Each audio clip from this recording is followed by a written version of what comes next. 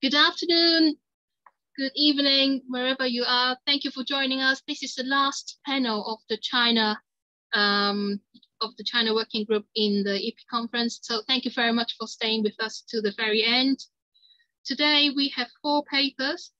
The topic of the panel today is, is China capitalist?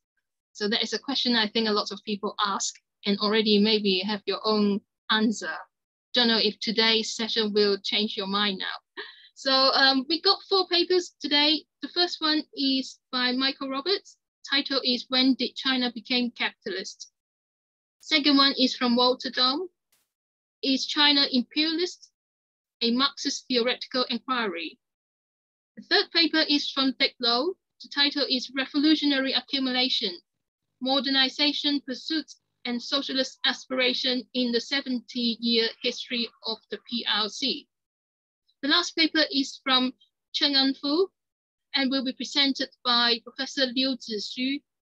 The title is China's Socialism is a Market Socialism with elements of state capitalism. Okay, without further ado, I'll pass it over to Michael.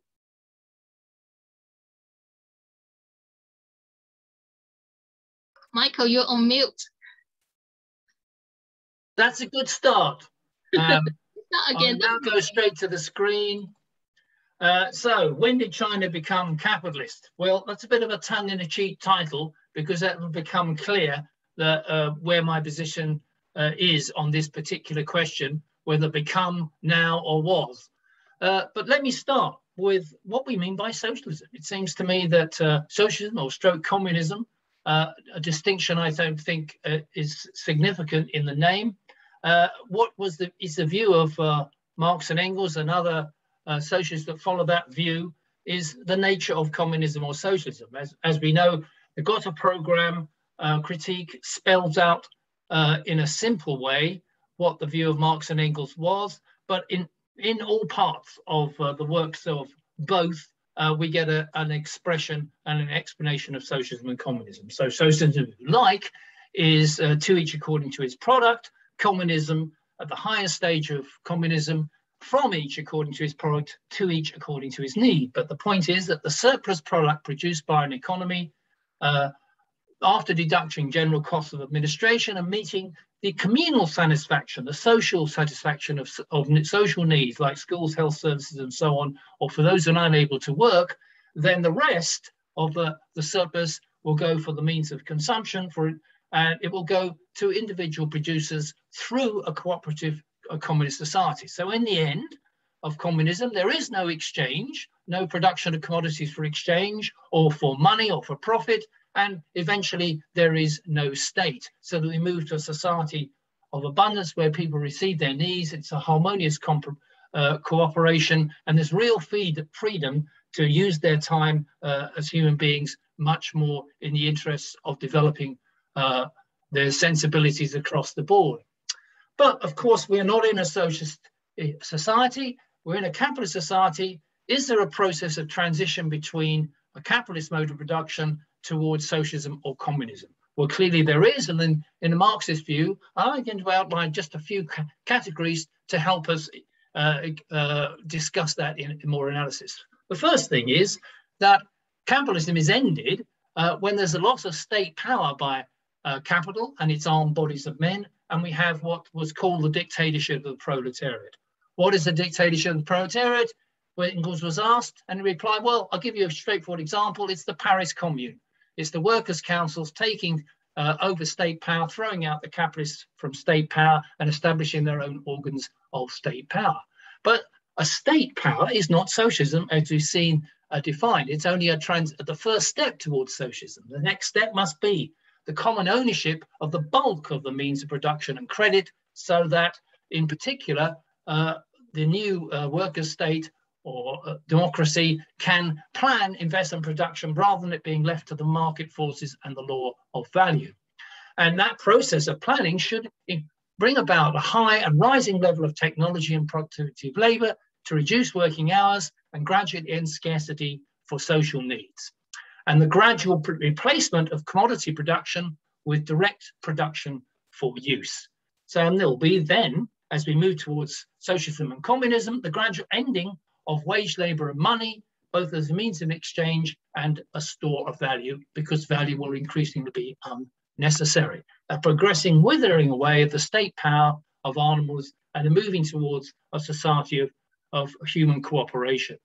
In my view, those are the steps of a transitional economy. And then we can measure that, uh, those steps against just where uh, countries or states are in relation to that. So let's just take the period before 1949. Was China capitalist in 1920 to 1949?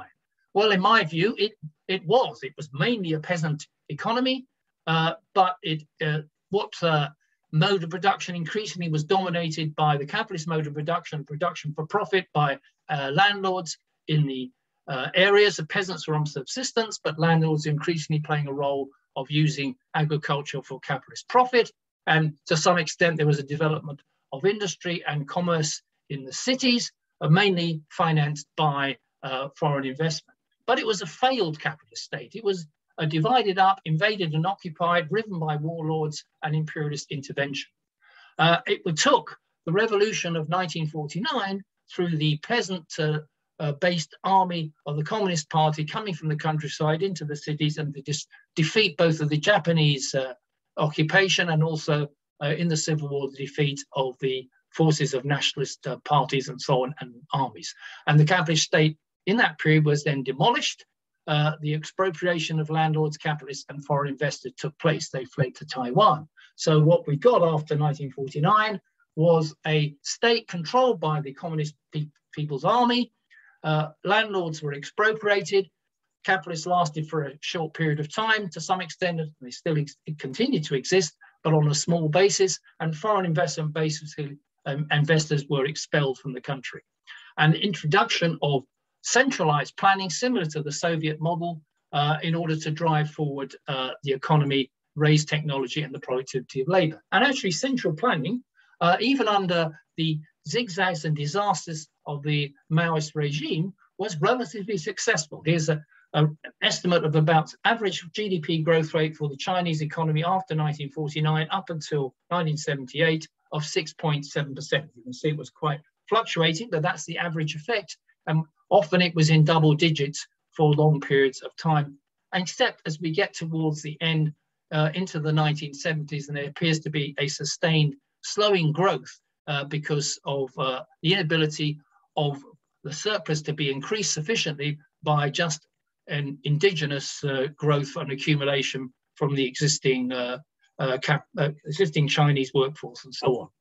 And so we had this new reform that took place after Deng in 1978 and onwards, where we introduced much more the role of markets into the economy. Foreign investment is allowed to come in under strict limitations. Capital controls are maintained. Uh, industrial zones are set up to allow foreign investors and other capitalist uh, combines to begin. There's an end to central planning, but there's still indicative planning. There are still targets set at a macro level for which both the state and the capitalist sector are supposed to uh, play a role in achieving.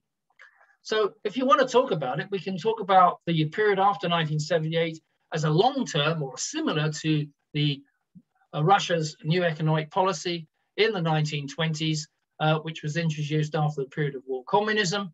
But uh, the difference being that this is now a much more widened development for the market and also not based any longer on central planning, but more on indicative planning, but without letting the capitalist class get hegemonic control over the state. And if we look at the figures at the end of this period, as right up to virtually now, we can see that there's a dramatic difference in the nature of the uh, Chinese economy in terms of its relationship between the public sector and the private sector. This is IMF figures, uh, which, we, which are continually being updated, but are very relevant. I'll see if I can draw them out for you. If you take the zigzag line, that's the amount of public stock, public sector stock as a, as a percentage of GDP in China. So that's 1.5% higher than the GDP of China is the public stock. No other major country uh, whether peers like India or the advanced capitalist economies have anything like that level of public sector stock to GDP. Then if you want to take the, the central one here, you've got the relationship, the relative position of public sector stock to private sector stock in China. So it's nearly three times higher, the public sector stock, than private sector stock uh, in uh, China. There's nothing like that in any other country, capitalist uh, country or imperialist country uh, as well. And then on, the right-hand scale, the level of investment from the public sector as a percentage of GDP in China is, is over 16%. No other country has got anything like that uh, level of uh, investment from the public sector. It's usually about 3 to 4%, as that right hand graph shows. Uh, and in leaving aside just the state sector and its size, but also let's look at the whole uh, relationship between the state, uh, the Communist Party, and the private sector. State uh, owned enterprises account for majority investments in most major sectors and for 40% of China's GDP and 45% of non-agricultural GDP. And the state sector makes up a substantial part of the national economy, roughly 30% of all secondary and ter tertiary assets, or over 50% of industrial assets. And the average size of a state enterprise is way bigger than the private sector on the whole, on average, over 13 times higher than uh, private sector companies in, in China. 95 out of the top 100 firms and eight out of the top 10 internet firms have a de facto controller who is currently a former member of the uh, central or local CP. And nearly over two thirds of China's private companies have party representatives on their board, and 70% of foreign enterprises do. So that's a very strict uh, control of what these uh, companies are doing, although they're in the private sector. And the CP organization department now manages all senior promotions in banks, regulators, government ministries, agencies, the state enterprises, and even many non-state enterprises. And of the 115 top companies in the world that are Chinese, 115 out of 500, all but four are state-owned, which shows the strength of the state sector and its ability to direct what happens in the economy, and therefore uh, uh, direct also the level of investment and growth in the economy. So if China's capitalist since Deng or some other time afterwards, we would expected to be suffering from the crisis of capitalism, both in profitability and its ability to invest uh, on the basis of the capitalist sector. But if we look at this very latest figure that's been presented here, you can see from Royal Bank that if you just take the period from 95 to uh, 1995 to 1919, the cumulative change in GDP per capita in current dollars in, in China is 432%. Nobody else has got anything like that growth in GDP per capita in the last uh, 25 years. Uh, not even the, the most fast, faster growing uh, East Asian economies. And since 19, uh, since the end of the Great Recession, it's still 150%, 7% growth in current dollars per capita. Nobody, nobody has got anything like that uh, in, uh, to match that figure. So if China's capitalist, it's a very, very unique form of capitalism that doesn't seem to appear anywhere else in the world in the current climate. Compared to, say, India, which is the, another big population country, which is regarded as a possible success story for capitalist growth, it's nowhere as a percentage of US GDP per capita to compared to China. And what about recessions? If, if China is capitalist, there should be regular and recurring recessions as there are in all the other capitalist economies and have been uh, since, if you want to take it in this figure, from 1974.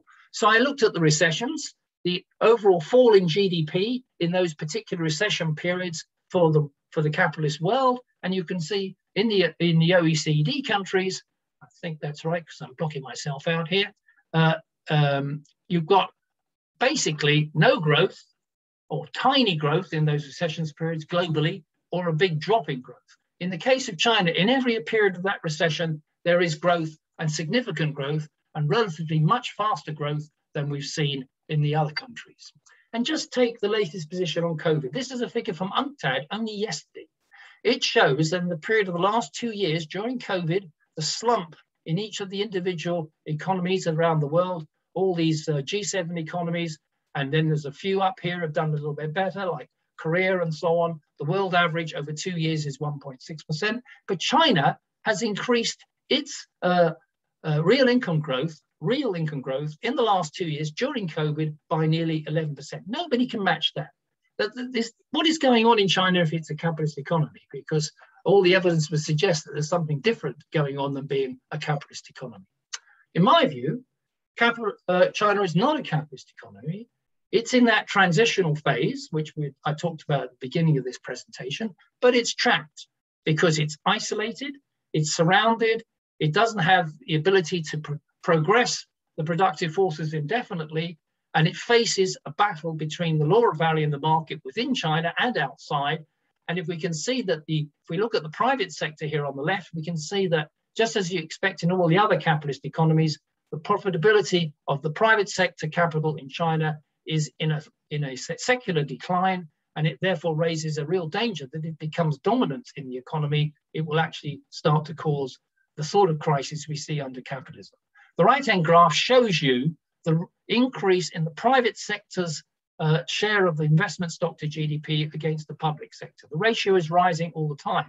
So the private sector is gaining uh, strength as a, as a force for the law of value and profitability, and that raises the real danger for China's economic prosperity in the future. In summary, what is China? In my view, it's not capitalism, but it's not socialism. It's in this transitional period. The law of value still operates in uh, China, of course, not just in trade, but also uh, domestically. Wage labor is operating, a capitalist sector is operating to sell goods on the market, uh, workers are exploited.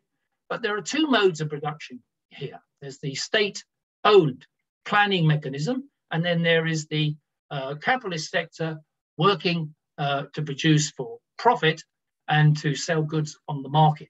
But while they coexist, they're also antagonistic. This is a dialectical process, the planning mechanism versus the law of value and production for exchange. That is a situation which cannot continue indefinitely, although you could say it has now continued for 70 years. I have a little duck-billed platypus down here, just to remind guys to use uh, Engels' own example.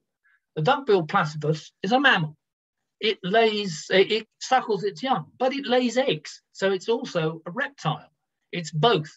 It's in trans. It's in the evolutionary process. There's a transition from reptilia to mammalia, and the black, the duck-billed platypus could be result, uh, considered a transitional uh, process in that. In the same way, I think China is not capitalist and certainly not imperialist because empirically we can show that, uh, and it's not socialist though. But is it socialism with Chinese characteristics, as Deng and Xi say, or is it capitalism with Chinese characteristics, as Branko Milanovic says and many other Western experts? I don't think he's either. It's a transitional uh, economy trapped. Which way to go depends on two things. Either the law of value must be reduced internally, externally, perhaps through workers' democracy and the development of the plan, and ending imperialism internationally, or capitalism face or capitalism could return to China as it did in Russia. Why does any of this matter? Final, final slide. For me, it matters because we want to show to the world's working class and to everybody that the way out of this crisis that capitalism's got depends on the superiority of moving towards a planned economy, abolishing commodity exchange and production for profit. So if an economy that is applying through the dominance of the state sector and investment and uh, the using the planning mechanism in a powerful way can succeed, and China has shown that to be the case, then that's a, a, powerful model for other economies and for working people around the world. And also, China avoids recessions. I mean, we face yet another one. We've just gone through one, uh, one now. We will have one before the end of this decade, in my view, if capitalism is to repeat what it always does. Uh, but in that case of China, that won't be the case. So we have an, also another big question is that th this model is something exactly what frightens imperialism in general, the growth of the Chinese economy, its uh, op uh, uh, option of a different model to how you proceed. And that confrontation, therefore, is going to increase between US and the imperialism bloc uh, in order to try not anymore to engage with China, but to contain it, curb it, to drive it down and perhaps reverse its process into capitalism. That's going to be the big geopolitical economic issue of the 21st century. Thank you very much, Michael. We went through everything on time. Thank you very much. and, I'm just trying to get rid of my share now. Yeah. Okay, I will pass it over to Walter. Uh, thank you. Um, can you hear me? Yes. Oh, yes. Uh, okay, thank you. Um, even though the title of this panel is Is China Capitalist, my topic that I submitted to the organizers is, is China Imperialist. And to my mind, um, saying that China is imperialist assumes that it's capitalist, but I have to address the imperialism question as advertised, and I'll try to say what I can about why I think it's capitalist subsequently. So, in the past several decades, China has undergone tremendous changes. It has become a major economic power, and it's the new workshop of the world. It has also increasingly asserted its economic and military power internationally. As a consequence, many observers claim that China has become a growing threat to the predominant United States and a potential rival superpower. On the left, this latter claim takes the form of saying that China has become an imperialist country. And this is not just a theoretical question. There's growing new Cold War driven by both Republican and Democratic US, US administrations through both threats and actual actions. So the socialist left has to have as much clarity on the question as possible. Now, many leftists claim that China is imperialist, and many of those claims are made without any serious theoretical argument. Its economy is so huge, how can it not be imperialist, is the method. Others try to, I would say, shoehorn China into what they believe is Lenin's definition of imperialism. But I think Lenin has no such fixed formula, and you can't really do that. In any case, let me just in any case, the question is more complex. China exhibits characteristics of both an imperialist country and, let us say, an imperialized country, a victim of imperialism. It behaves like an imperialist power or a would be one in many ways. It suppresses the rights of minority peoples within its borders. It bullies its neighbors in the South China Sea, in the South China Sea region, rather than allying with them to resist imperialist domination. It exports capital across the world to Southeast Asia, Central Asia, Africa, and Latin America. And its relations with developing economies on balance is that it extracts surplus value from them. Its military buildup challenges the U.S. in the nearby seas as it seeks to be recognized as a full member of the imperialist club.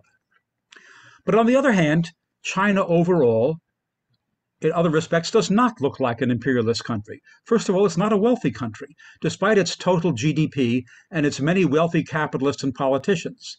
Its GDP per capita is of the same order as Thailand or Montenegro. They, and these are not imperialist powers.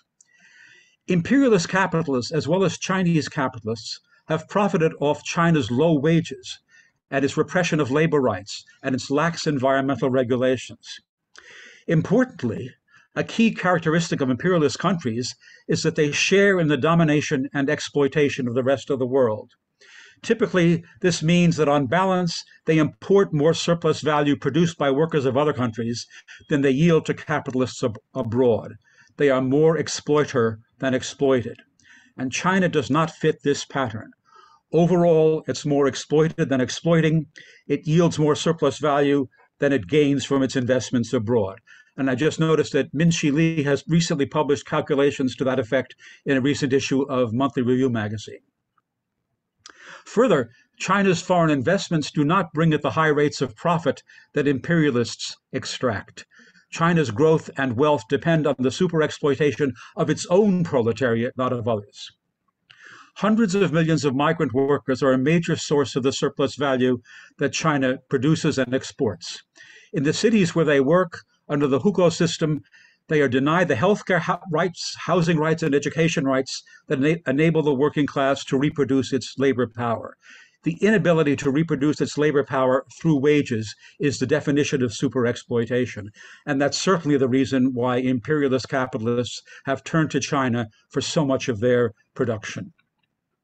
The Chinese industrial working class regularly engages in protests, strikes, and other forms of struggle and it has raised its wage level to something like 10 or 20 percent of average wages in the West. But China's ruling class, I believe, cannot afford to allow its workers to improve their living standards much further. Again, that's because China's internal labor exploitation is what has brought about its extraordinary economic gains. And Chinese ruling class can't afford to see that, that changed. To continue and expand its role as workshop of the world, China needs unimpeded access to raw materials from every corner and to the shipping lanes and other transit routes for importing the materials it uses and exporting the goods it produces. So it necessarily seeks to expand and defend those sources and routes.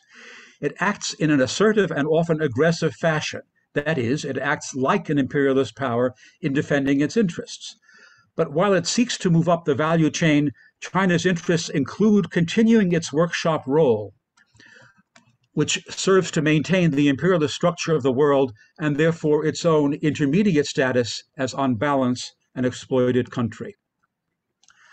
I'd like to raise the question of whether China is sub imperialist. In the classical Marxist theories of imperialism a century ago, by Luxemburg, Lenin, Bukharin, and others, the world was relatively easily divided into oppressor imperialists countries and oppressed countries. But there were exceptional cases. Tsarist Russia was universally regarded as imperialist, even though it was probably not a net importer of surplus value. Today, China, like a few other countries, exhibits characteristics of both imperialist and imperialized countries. So the classical analysis has to be built upon and extended.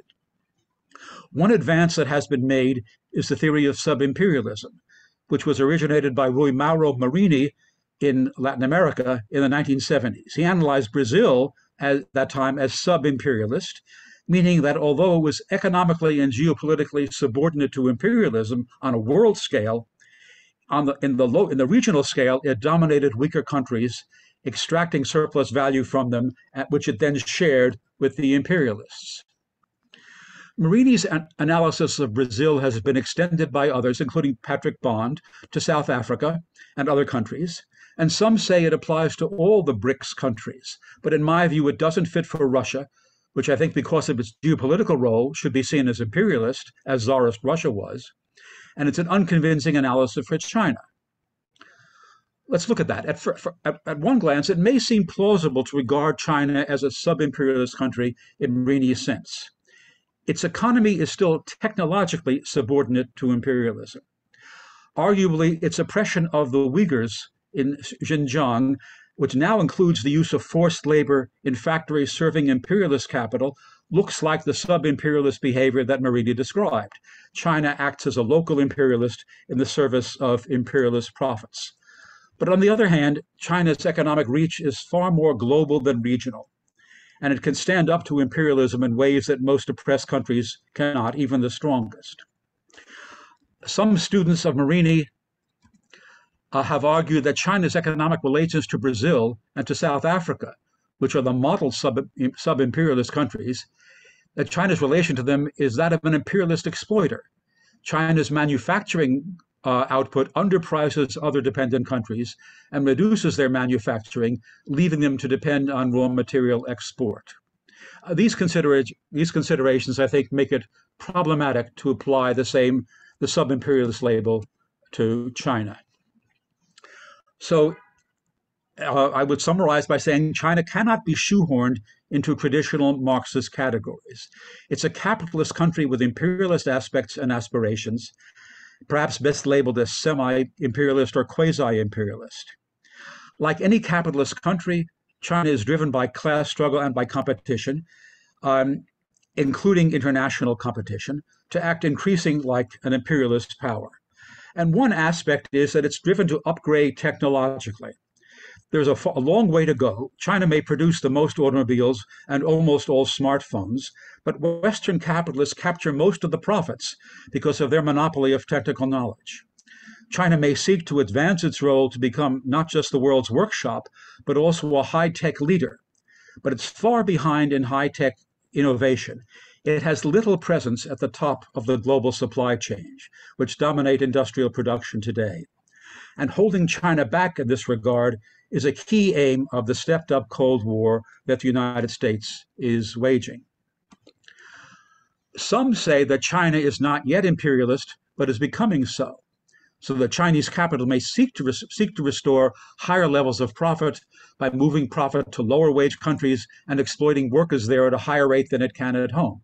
And it has to consider doing so because Chinese workers' wages are rising. A bonus in doing that would be to undercut the class struggle and the, rising, and the rising wages at home. But it's impossible for Chinese capital to find hundreds of millions of cheaper workers elsewhere.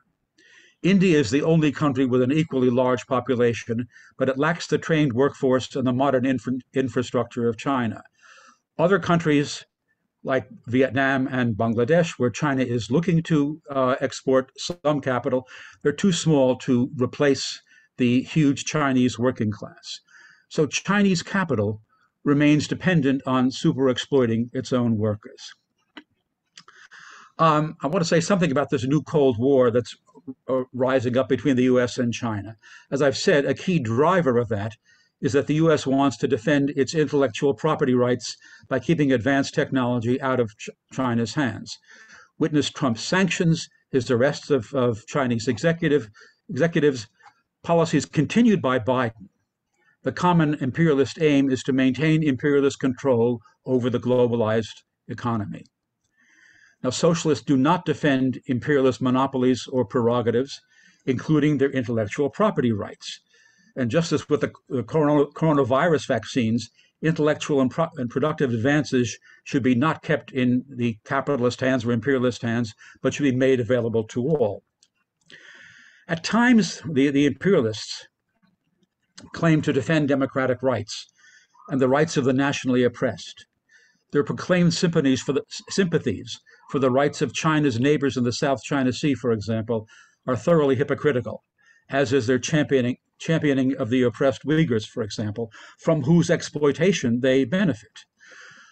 That said, imperialist hypocrisy does not prevent socialists from supporting various struggles which are opposed by the Chinese ruling class, struggles by workers against capitalists in China, struggles of oppressed peoples' right to self to national self-determination, struggles for the national rights of Chinese neighbors. So when China acts imperialistically in opposing these struggles, socialists stand opposed to it. When China, or rather the Chinese government, is defending itself against imperialist prerogatives, socialists side against the imperialist. These are just a few possibilities illustrating the complex situation presented by China's quasi-imperialist role in, in the world. Now, I wonder, um, Sam Key, how much time I have left to address the capitalist question. Okay, you can wrap up. Can you in three minutes? Three, okay, minutes. I, I yes. So, so let me speak briefly to that. Um, first of all, raising the question to raise the question: Is China socialist? Michael Roberts uh, argued that socialism for Marx meant the lower stage of communism. I would point out that's uh, yes, that, that that was true for Marx, it's uh, sorry for Lenin. Um, from Marx, sometimes he used the word socialism to refer to the worker state transitional to communism. So, but either way, socialism means either the working class in power or the working class has achieved communism and abolished all classes. And that is not what uh, that is not in any way true of China. Of course, the official Chinese government's view that China is socialist with Chinese characteristics um, something like that is also the standard popular interpretation of socialism, which is shared by many on the on the left, as well as uh, capitalist politicians and journalists, namely that a socialist country is one with a predominant state sector in the economy. And by this standard, China is indeed socialist, but that's not a Marxist uh, standard. So um, I certainly would argue that China is not socialist in any Marxist way. And then uh, to argue that it's capitalist is a much more um, uh, complex uh, argument to make. But I would say the key property of any class society is which class produces the surplus and which class extracts the surplus. In China, the surplus is predominantly produced by the proletariat. And where does that surplus go? It goes to the capitalists, it goes to the state bureaucrats, and of course, there's a great deal of overlap between them. The, uh, the Communist Party is uh, includes capitalists, it also includes workers, but it's dominated by capitalists. It's dominated by billionaires or relatives of, of billionaires. It's not a working class party in its composition. It's not a working class party in that it suppresses workers' rights. It does not allow workers to organize independently, and it does allow capitalists to organize in, independently. The Chinese Communist Party is a uh, a hybrid of a state, uh, the, the Chinese system is a hybrid of state capitalism and private state capitalism, and uh, it's not socialist. I'll leave it at that. Thank you, Walter. Thank you, Walter. Um, I will um, pass it over to Dic now. Bear with me for a second to share the screen. Uh,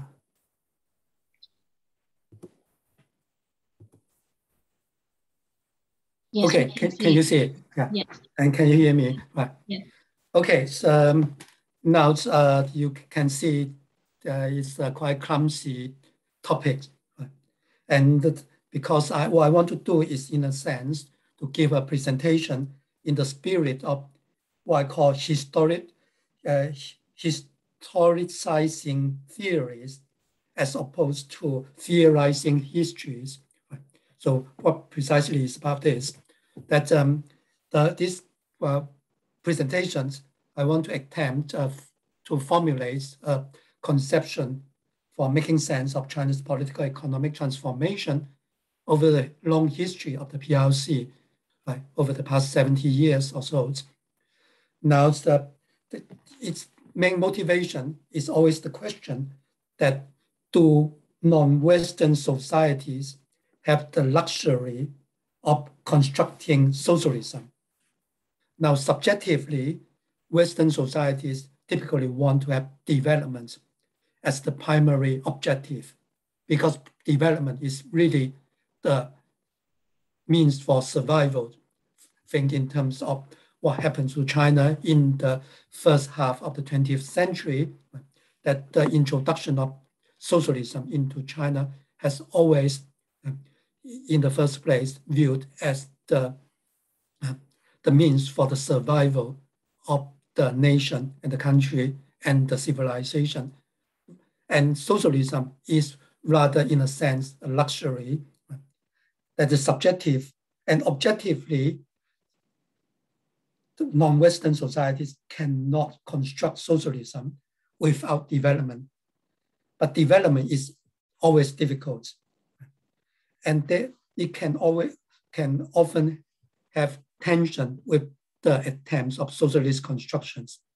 And that is why we can see that from time to time, there have been conflicts between the two different pursuits that, and this has been the driving force uh, that uh, driving the, the, the dynamics, driving the evolution of Chinese history rather as opposed to en- the activism of the, any all-powerful mastermind in driving, in driving the evolution of Chinese history. Now to fix these ideas, let me go to the more concrete level but before getting back to talk about socialism or capitalism. Now the background is that worldwide late development is always difficult. It is not at all easy, natural, normal. Now, just a very quick indication here, post-war era, you can see that the performance of the rest of the developing world outside China has been quite dismal relative to the advanced countries. So there is not at all any sign of convergence as promised by mainstream social science the neoclassical economics or the theories of modernization in political studies or sociology. And this is particularly the case entering the era of globalization. Now, in contrast, China has been able to sustain rapid economic growth and acceleration of growth in the era of globalization. Now, if China is capitalist, that implies that it's really promising to have the capitalist path of modernization, given the size of the Chinese population and the Chinese economy in the context of the developing world as a whole.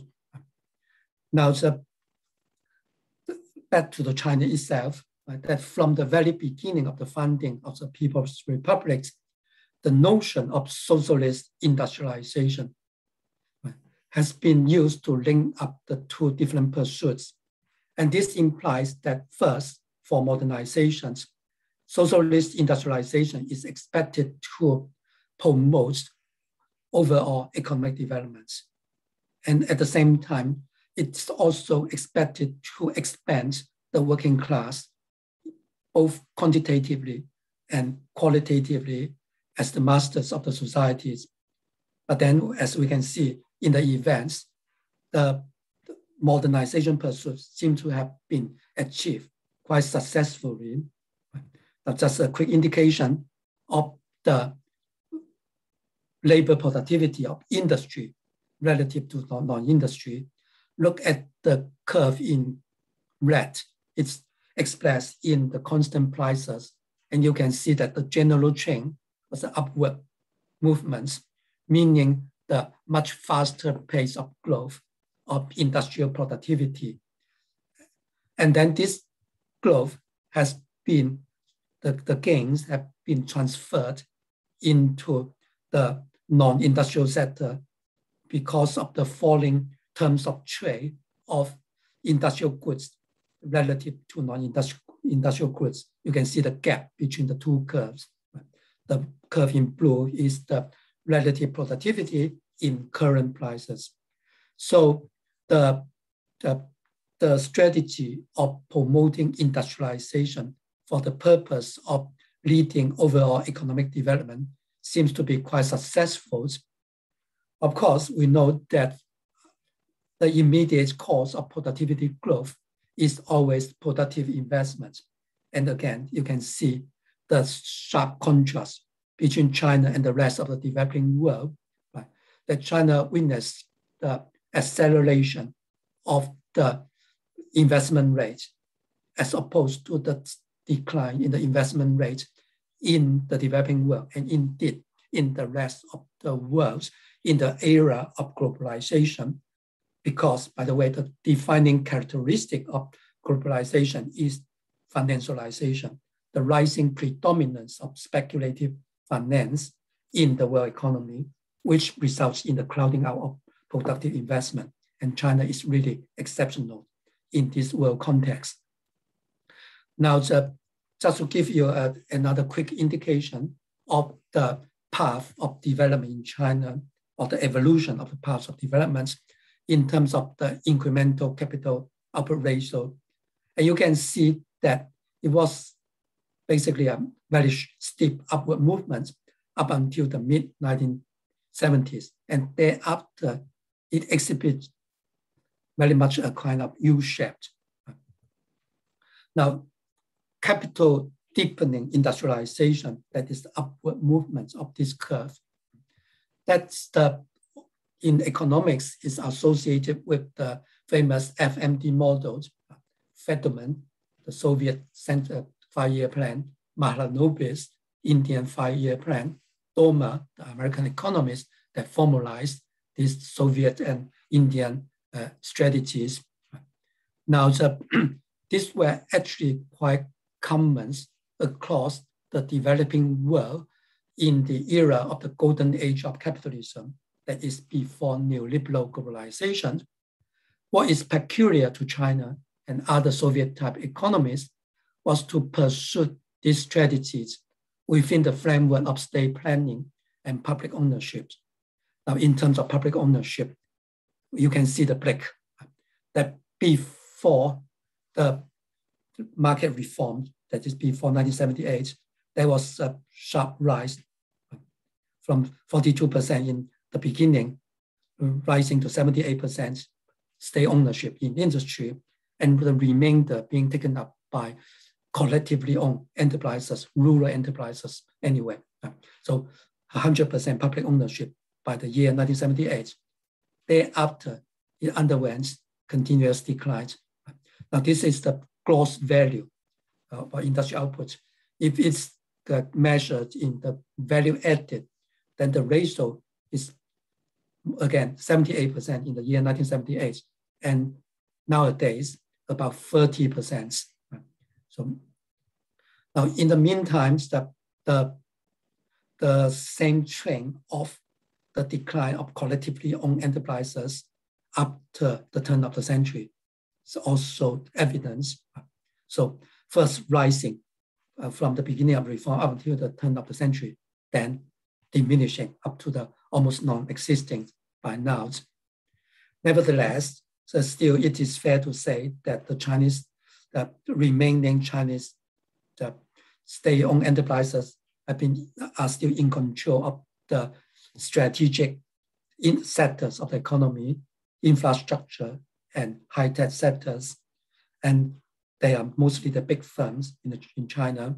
And also the state itself is by and large in control of the utilization of the total of China's economic surplus. That is, as we see, that uh, China's economic surplus has not been mainly capitalized. Instead, it has been mainly allocated under state control. But if this is the true at the macro level, then in the at the micro level, it is still clear that labor, right, that the employment system first of all, that the share of public sector employment has been declining down to a very low level in industry, down to 13% by 2012, and now even lower. And or even within the core sectors of state-owned and state industries or state-owned enterprises, that the employment relations have been virtually entirely marketized. So on the whole, we can safely judge that insofar as there are still socialist aspirations in Chinese political economy, they are not embodied in the micro units or in terms of the pervasive public ownership and not in terms of workers as masters of the societies. Uh, because of time limits, so I won't be able to go into more details about this second bit about the, the regimes of accumulations.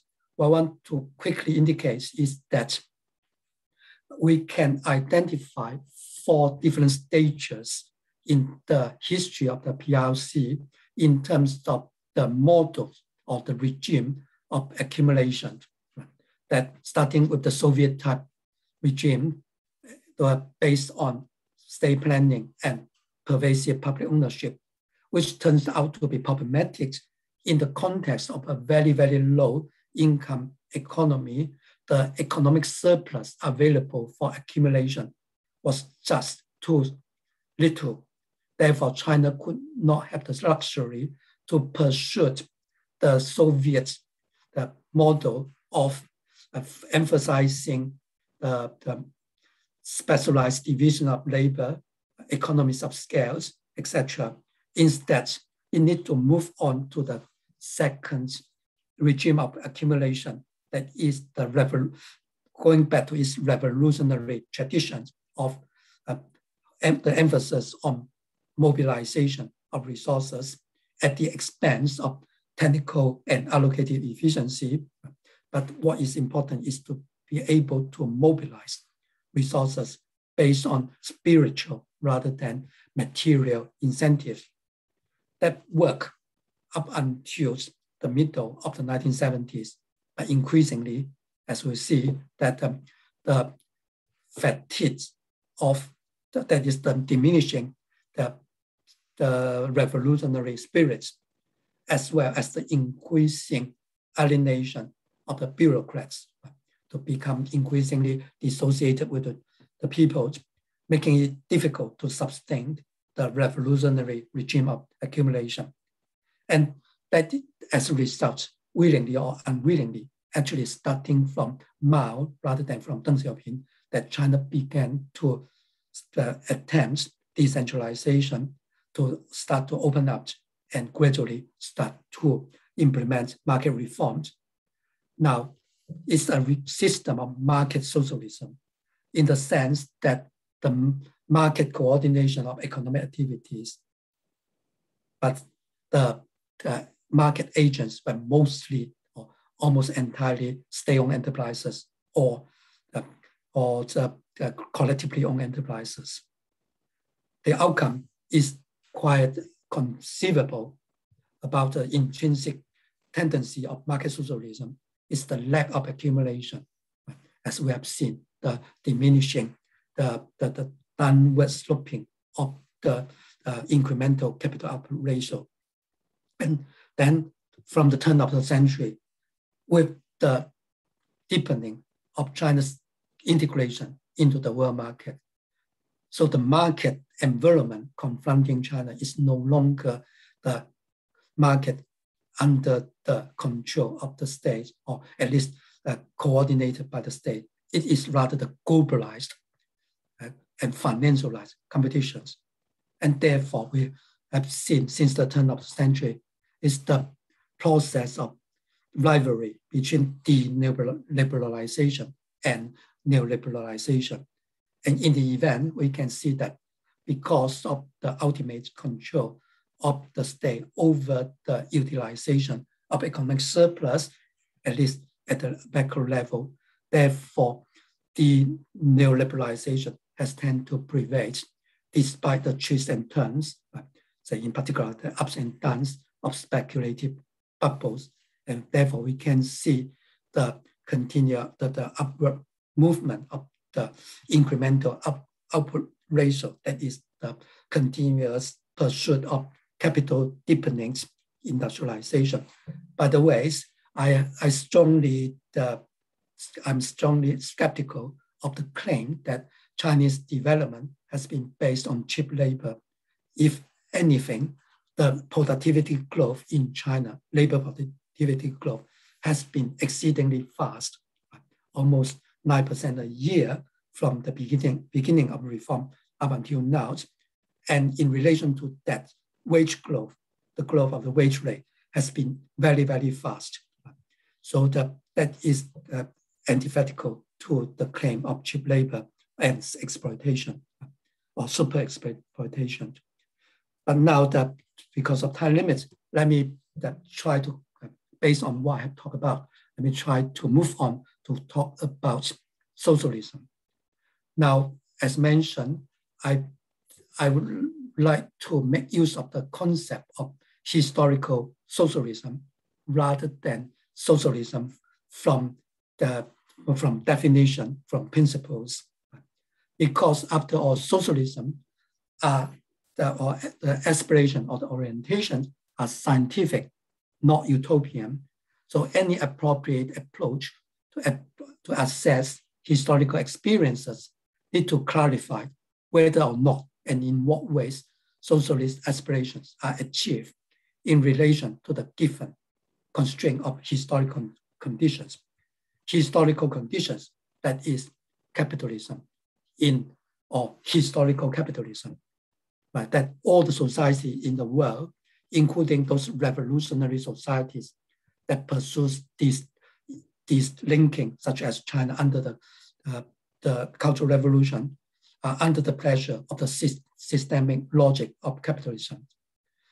Now, the, in the light of the nature of the PLCs, and in this light, the, the, the PRC and countries of the former Soviet bloc is not strictly speaking socialist in, uh, in relation to the definition and the principles. But nevertheless, that they can be conceptualized as revolutionary societies vis-a-vis world capitalism, confronting the historical conditions which make it impossible for these societies to replicate the experience of modernization in the advanced capitalism. And therefore, they need to undergo a process of primitive accumulation. And this is the tension between the socialist pursuits and the pursuits of modernizations. Now, the primitive accumulation could, over the long term, results in the so-called systemic, systematic fatigue on the part of the people and systematic alienation on the part of the bureaucrats. And therefore, long-term, continuous improvement in the living standards of the people is necessary. Sustaining the revolutionary spirit of the people is also necessary. And therefore, the, the status of the working people as master of society is as important as the accumulation itself. And it is fair to say that insofar as China has retained elements of the socialist inspirations, this remain an unresolved issue. So I, I hope this the presentation makes sense to you. Thanks. Very much so. Thank you very much, Nick Thanks for the presentation. Okay, I will pass it over to um, Liu Zixu now. Professor Liu, over to you. Okay, uh, thank you. Thank you, uh, Professor Liu. Just let me just do a little bit introduction. Um, the paper is done by Professor Cheng Enfu, but um, Professor Liu is going to present it on Dr. Cheng's behalf. Okay, can you hear me? Yes, thank you. All right.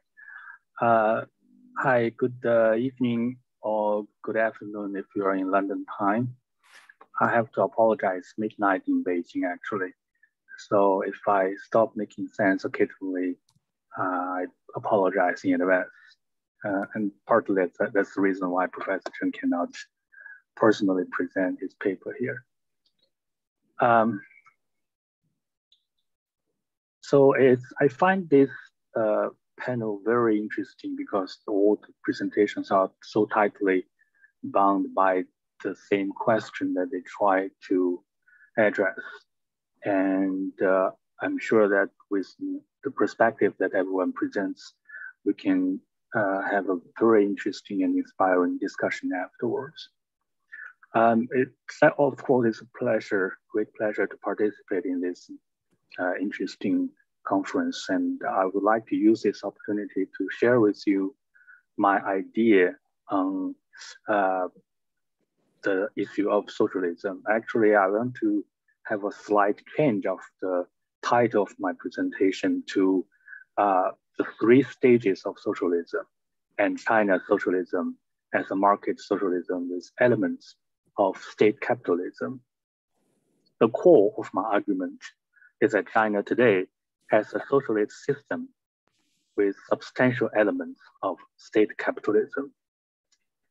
Uh, my argument follows a very different line from China's official classification of the primary stage of socialism based on uh, degree of productivity, average GDP, and standard of living, which in turn actually differs in important respects from current economic development in China. My analysis will follow the spirit of Marx's methodology, take changes in productivity as an indirect or ultimate sign, and take changes in the relations of production as the key determinant of each stage. These relations are revealed in the systems of property rights, distribution, and regulation. Uh, their qualitative changes will, uh, will correspond to the primary, intermediate, and advanced stages of socialism. I will also analyze the characteristics of production, exchange, and distribution in each stage as well, as well as micro, medium, and macro level economic management in each stage.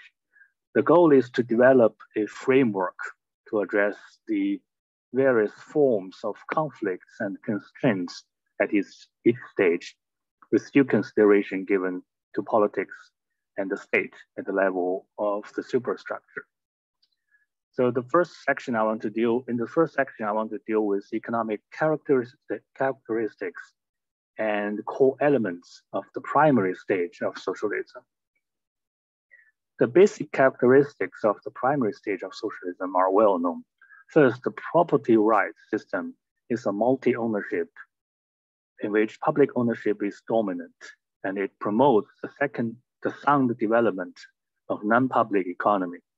This is the foundation of socialism with Chinese characteristic in China today and the chief economic criterion for considering China socialist in nature and in direction. The second feature of the primary state of socialism, stage of socialism, is that despite a multiplicity of forms of ownership, the distribution of income prioritizes labor as the major factor because public ownership dominates. This permits eliminating, eliminating income inequality and achieving common prosperity so that the fruits of the reform and development will benefit all the people.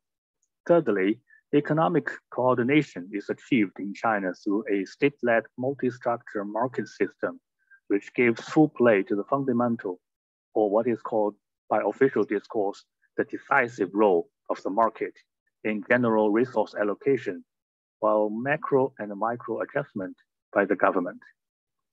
Uh, fourthly and finally, on the economic basis, the superstructure at the primary stage of socialism is expressed as an inadequate or not fully developed democratic system, but nonetheless with the implementation of people's democratic dictatorship led by the working class and based on a worker-peasant alliance. That is, the dictatorship of the proletariat, as in Marx and Lenin. Uh, the second section I talks about, I want to talk about economic characteristics and core elements of the intermediate and advanced stages of socialism. The intermediate and advanced stages of socialist mode of production cannot be fully specified at present, though we may say that they must, there must be, um, they must lessen non-socialist content compared to the primary stage. In the intermediate stage, for instance, in the system of property rights, public ownership of the means of production must advance further and be implemented in many different forms. There will be no private ownership except in cases of foreign investment. In the distribution, distribution system, distribution according to work is more adequate, adequately practiced in various forms. Economic coordination and regulation must feature planned production in a more complete sense. That is to say, planned economy or pro product economy is overwhelm overwhelmingly dominant, with market playing a very weak role. On such economic basis, the superstructure at the intermediate stage of socialism is expressed as more adequate as a more adequately democratic system in which dictatorship exists only in the sense of defending the country against foreign invasion, and state is still needed domestically to maintain such rights as distribution according to work. Lenin's vision of future socialist society in the state at the revolution should be realized at this intermediate stage. So far, uh, it is clear that Marx and Engels and Lenin in some sense envisioned the advanced stage of socialism. Stalin and Mao, uh, Mao's thought depict the intermediate stage of socialism, while socialism with Chinese characteristics formed during China's reform and opening up, in fact, represents the primary stage of socialism. Uh, the next stage, uh, now let's look at the next stage, the qualitative changes we may expect at the advanced stage of socialism, as foreseen by the founders of Marxism, can also be outlined. First, in the system of property rights, public ownership of the means of production is mature and is universally implemented in the whole society. Second, in the distribution system, distribution according to work is adequate and is universally implemented. Third, in the regulation system, planned economy is complete with the production of use values being generally throughout the, the economy. On this basis, on this economic basis, the superstructure of the advanced stage of socialism is characterized by an adequate democratic system, and dictatorship exists only in the sense of defending against foreign invasion. State is in the process of withering away, but will still have to exist in order to safeguard such rights as, as distribution according to work. Now, in the next section, I will talk about the differences between economic systems in socialism, modern capitalism, and communism. Uh, I will demonstrate this with a table. So allow me to uh, share a different screen.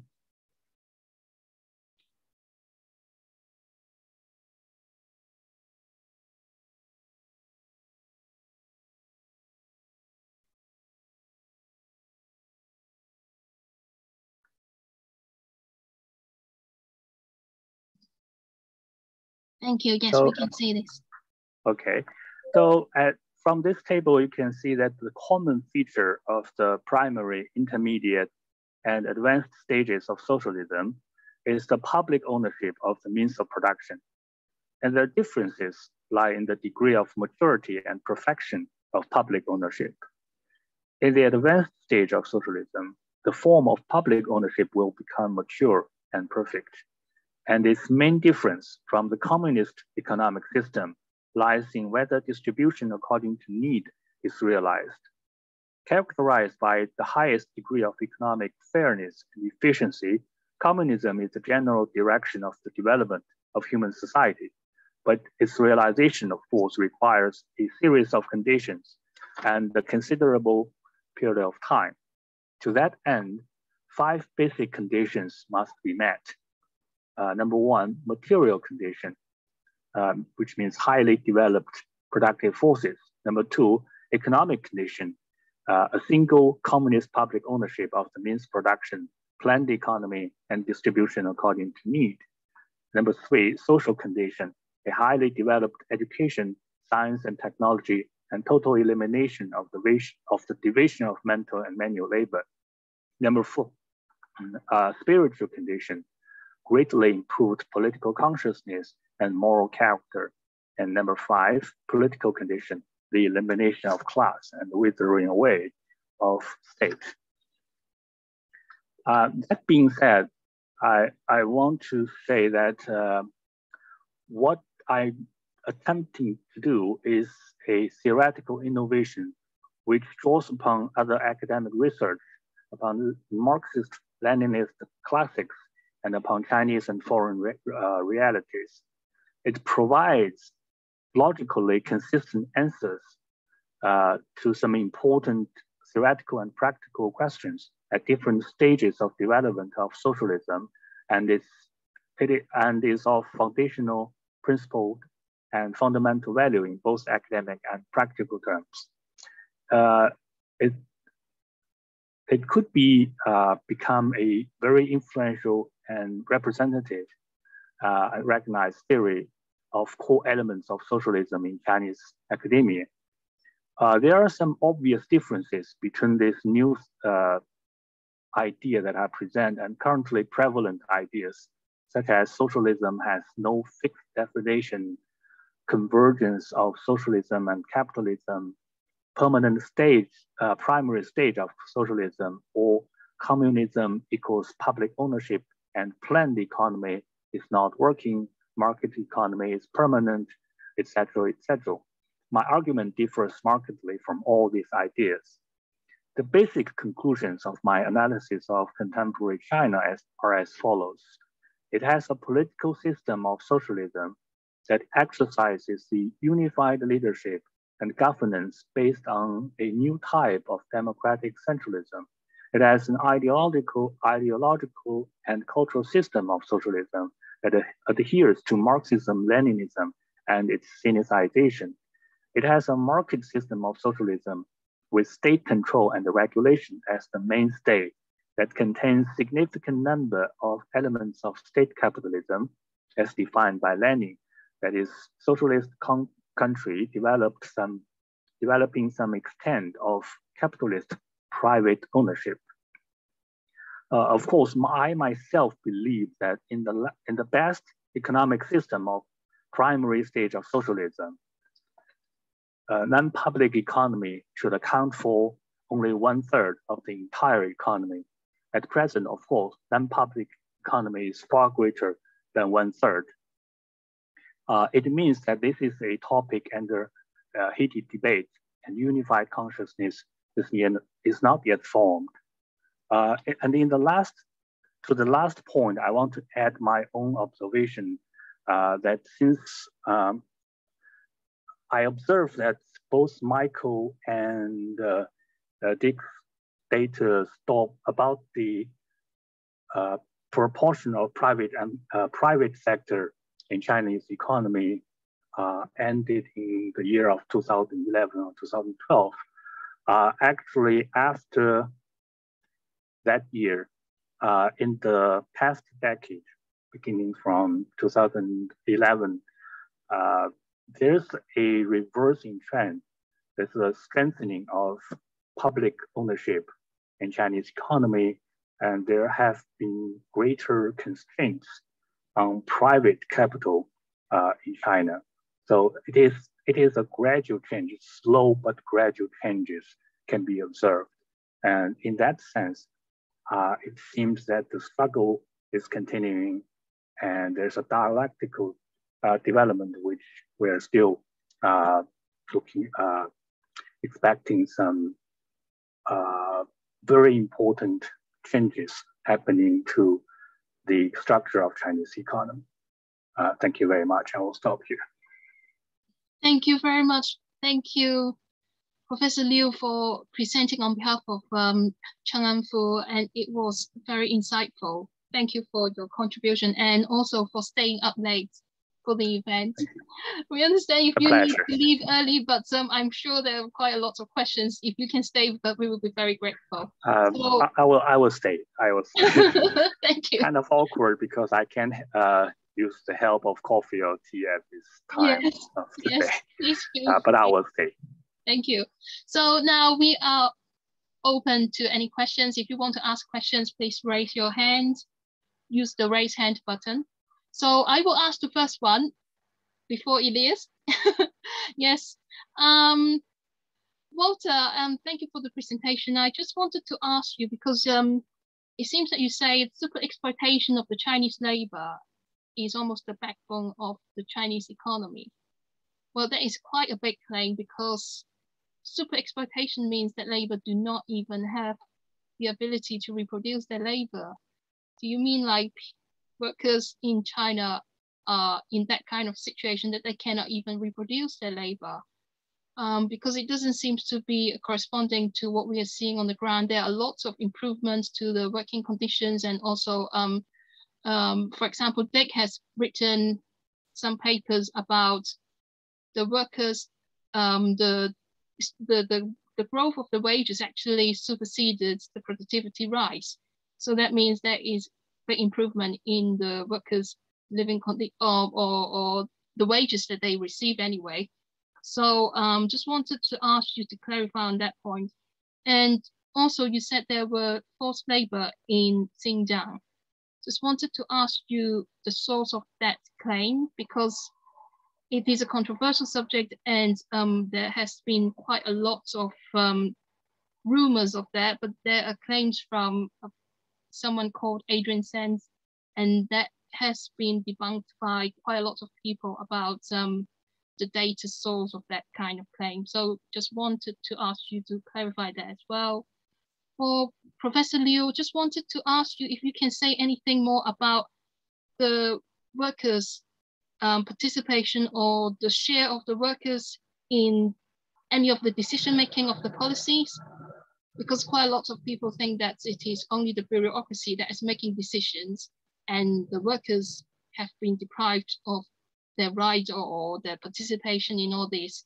So just wonder if you wanted to um, give us some details of how this mechanism actually works, how they participate. So these are two, my two questions for the two speakers. Okay, Elias, please unmute yourself.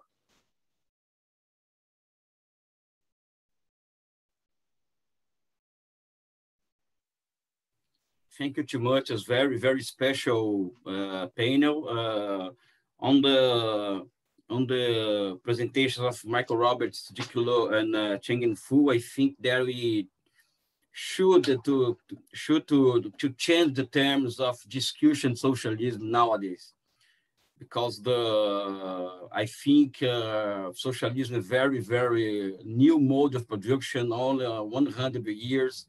And we are in uh, we are the socialism in a learning process yet. Uh, and the concept manifests in itself in the real movement in, the, uh, in other words uh, we need to find the historical form of uh, that socialism manifests in itself uh, manifests manifests in the world today eh? you need, to find the historical form because it's very uh, the the distance for for example workers democracy and uh, or abolish the private property as a long-term uh, targets. Uh, so we, we should to, to find the historical form of socialism today. I think that the socialism today and nowadays uh, appears in the world uh, through uh, the transformation of the reason in a tool of government. This is the his, historical form of socialism today. Uh, the transformation of the reason in government uh, uh, tool uh, is a very, very different in of capitalist countries. This is another discussion about the, the, the speech of the Professor Walter. Uh, Professor Walter, what's the evidence? I repeat the question about the slave labor, labor in Xinjiang. I was in Xinjiang twice. I, I, I, I know the main cities in Xinjiang, and I, I was, I, I didn't uh, observe any evidence of uh, slave labor uh, or super exploitation of labor there. On contrary, uh, GDP per, capita in Xinjiang grew 110% in, in the last 10 years. This is the data, it's not my point of view. In China, in China, uh, according the the International Labor uh, Organization, the salaries growth 280 percent in the last 10 years, above the productivity and inflation during this period. period. Né? Uh, in my country, is a democratic country, tal, is, a, is on contrary. Uh, I don't see evidence to in now China now uh, workers uh, use the, the, the, the very, very cheap uh, labor to, uh, as an engine to economy. It's not, uh, not make sense. China reached the, the fourth industrial revolution not make sense in my point of view, and the data show the contrary. Yeah? About imperialism, I am Brazilian, I live in Brazil. I, I, I, for example, in Brazil, the average of profit rate of Western companies in Brazil by year is 12.5% uh, by year. The Chinese companies here here in Brazil, Michael Roberts, you love this discussion. in Brazil, the, the, the profit rate is the one point percent by year in general. In a several cases, 1.0.5 is companies, uh, factors, not not financial system. The, the Western banks in Brazil, for example, uh, they they use the the our interest rates to to buy the the public the public assets to etc. The IMF imposed to Brazil a lot of things, a lot of tools uh, to uh, change for loans. For example, our economy, Professor Walter, was destroyed after the IMF imposed to Brazil the open, open as the capital account of my, in my country. My country, my, my, our economy was destroyed. The Chinese uh, businesses in Brazil, they imposed nothing to Brazil. The same way the Chinese uh, didn't impose nothing to African countries. Nothing. On contrary, the recent deal between Iran and, and China, China, China uh, uh, will provide oil uh, uh, infrastructure to Iran. For example, the, the subway of Tehran will move to Iran 1,000 uh, production uh, factors to Iran and transfer the technology for uh, for uh, railways uh, to Iran. in my, in my point of view, is very, very interesting, uh, this due to Iran. Very different the Western countries in Brazil, in Latin America, in Africa. Uh, I think that the, the, the, this, this, this points about in Chinese imperialism, for example, Lenin linked the, the, the link the imperialism with the, with the tendency of violence. China never invaded any country in the world. United States destroyed Libya, United States destroyed Syria, United States destroyed a lot of uh, Afghanistan, and China. I don't know if China invaded the, the, the, any country or, or, destroyed any country. We, we need to use the, the, the very ample, huge concept of imperialism. Uh, my last point uh, is the Lowen's uh, in, in, in, in some is very different, very, very different. The way of treatment between Chinese and periphery and my country, Brazil, and Western countries and uh, and uh, and, uh, uh in the in Brazil. I'm living in periphery of capitalism. Né? China support Venezuela, China support Cuba, China support Palestinian fight. It's very different if American actions. Thank you too much. I'm sorry.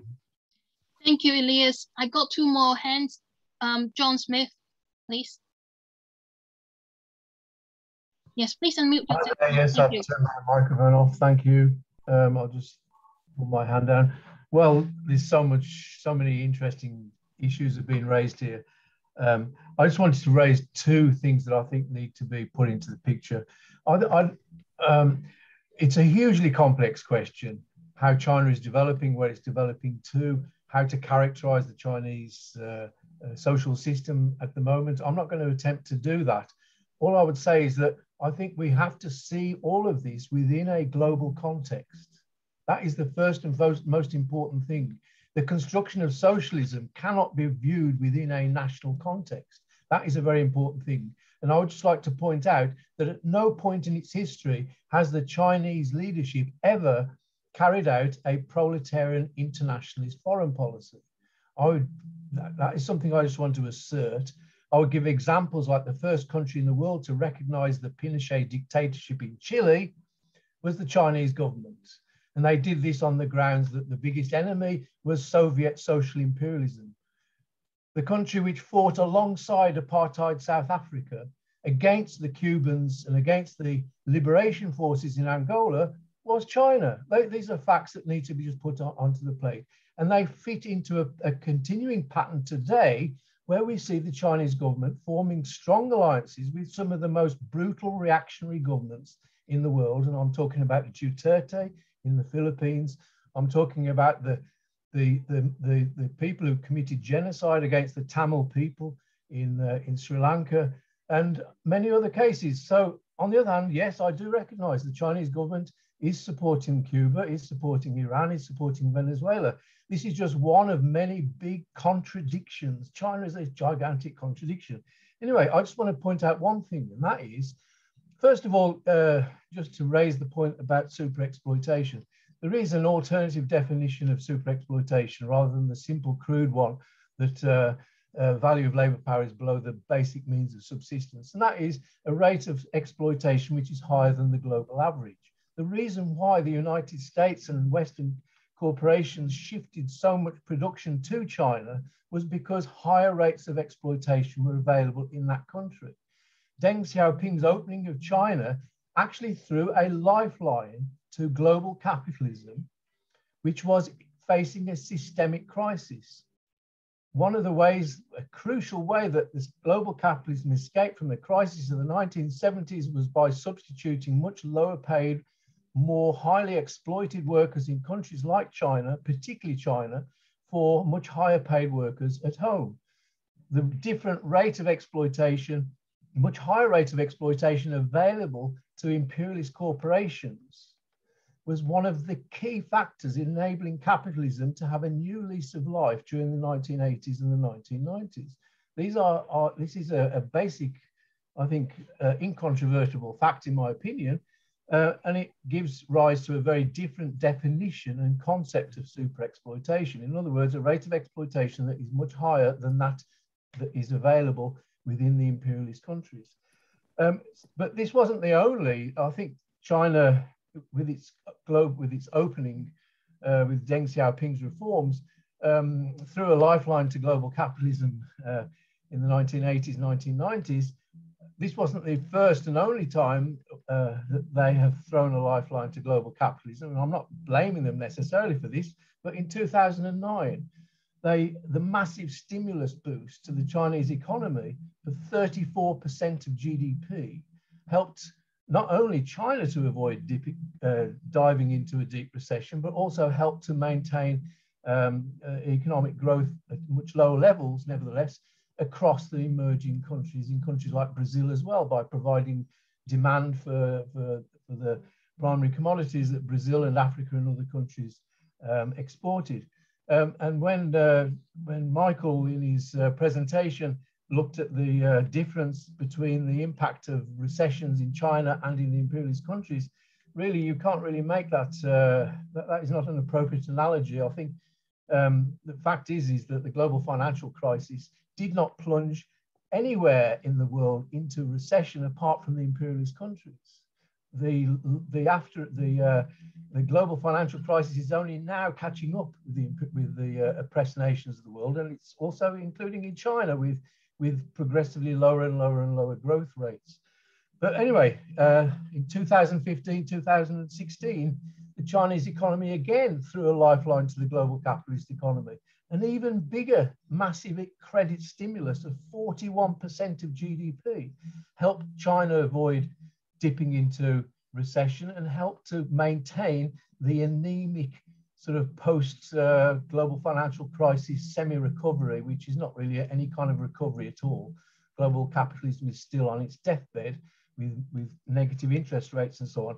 But this raises a question about the role of credit um, the, the massive debt piles that now is about to burst on all of our heads with $300 billion owed by one single Chinese company now faced with default. That is Evergrande, and this is going to have global consequences. And the last point I wanted to make uh, very quickly, and that is that China, amazingly, now, according to, I'll put in uh, um, into chat a, a, a document which studies China's overseas lending. China um, is, has lent $370 billion to developing and emerging countries. The total amount of debt owed, uh, uh, official debt owed to um, Chinese state-owned banks, 370 billion compared to Paris club debts of, uh, of 246 billion. It is incredible the extent to which China has emerged as a major lender. What is also significant is that according to this study, and maybe somebody can find a way of refuting it, but it seems to be very uh, well researched, is that China's loans to poor countries are at commercial interest rates. So we have this amazing paradox at the moment. China has lent huge amounts of money to the US, to US imperialism by buying US treasury bonds at negative interest rates. China is losing money on the money that it's lent to the United States. However, it is compensating itself for these losses by charging market rates to countries in Africa and elsewhere for its commercial loans to these countries. I think there is, uh, I would say, just in summary of my own point, is that I think China is in a transitional uh, stage of the economy. I think that transition towards socialism requires communist leadership. I don't think China has a communist leadership. And finally, I think that China does exhibit very clear imperialistic tendencies. Just look at Myanmar today. Who is backing the Myanmar regime? Who is providing it with the weapons? And where are the Chinese companies which are profiting from super exploited Myanmar labor? Um, anyway, thank you. Oh, thank you. Yes, sorry. Um, yeah, I need to give it to um, Jonathan. He did raise his hand um, by talking to me because um, his button wasn't there. So Jonathan, please go ahead. Thank you. Uh, just a brief question addressed to Liu and to Michael, um, because um, although there were important nuances in uh, what uh, difference nuances between what you said, both of you seem to outline the kind of process where we move from um, cap uh, capitalism with a dominant public sec uh, private sector, dominant uh, law value, and a subordinate public sector, that we move from then to a dominant public sector and a subordinate private and law value sector. And then as things progress, that private sector subject to the of value decreases until we reach the final stage of communism, in which basically everything will be one big factory uh, planned from the center, and that will be the economy. I might be uh, making a bit of schematic, uh, the points you're making, but that is a fairly traditional view held by the left over a long period of time is that is the direction which we're heading in. I just want to ask you why? Why should we move in that direction? I mean, sure, yeah, the public sector should be dom become dominant sector. That's the basis for socialism. But why should we move in the direction of one big industry, automated, centrally planned? I see no reason for it. I haven't had that ever explained to me. It presupposes that all parts of the economy undergo the same process of socialization and that there are future productivity gains there to be taken by co completing that process. I can see large sectors of the economy which aren't suited to that at all. I take restaurants, for example. What is the point of having one big centrally planned restaurant feeding people throughout the world? It makes no sense whatsoever from an economic point of view to me.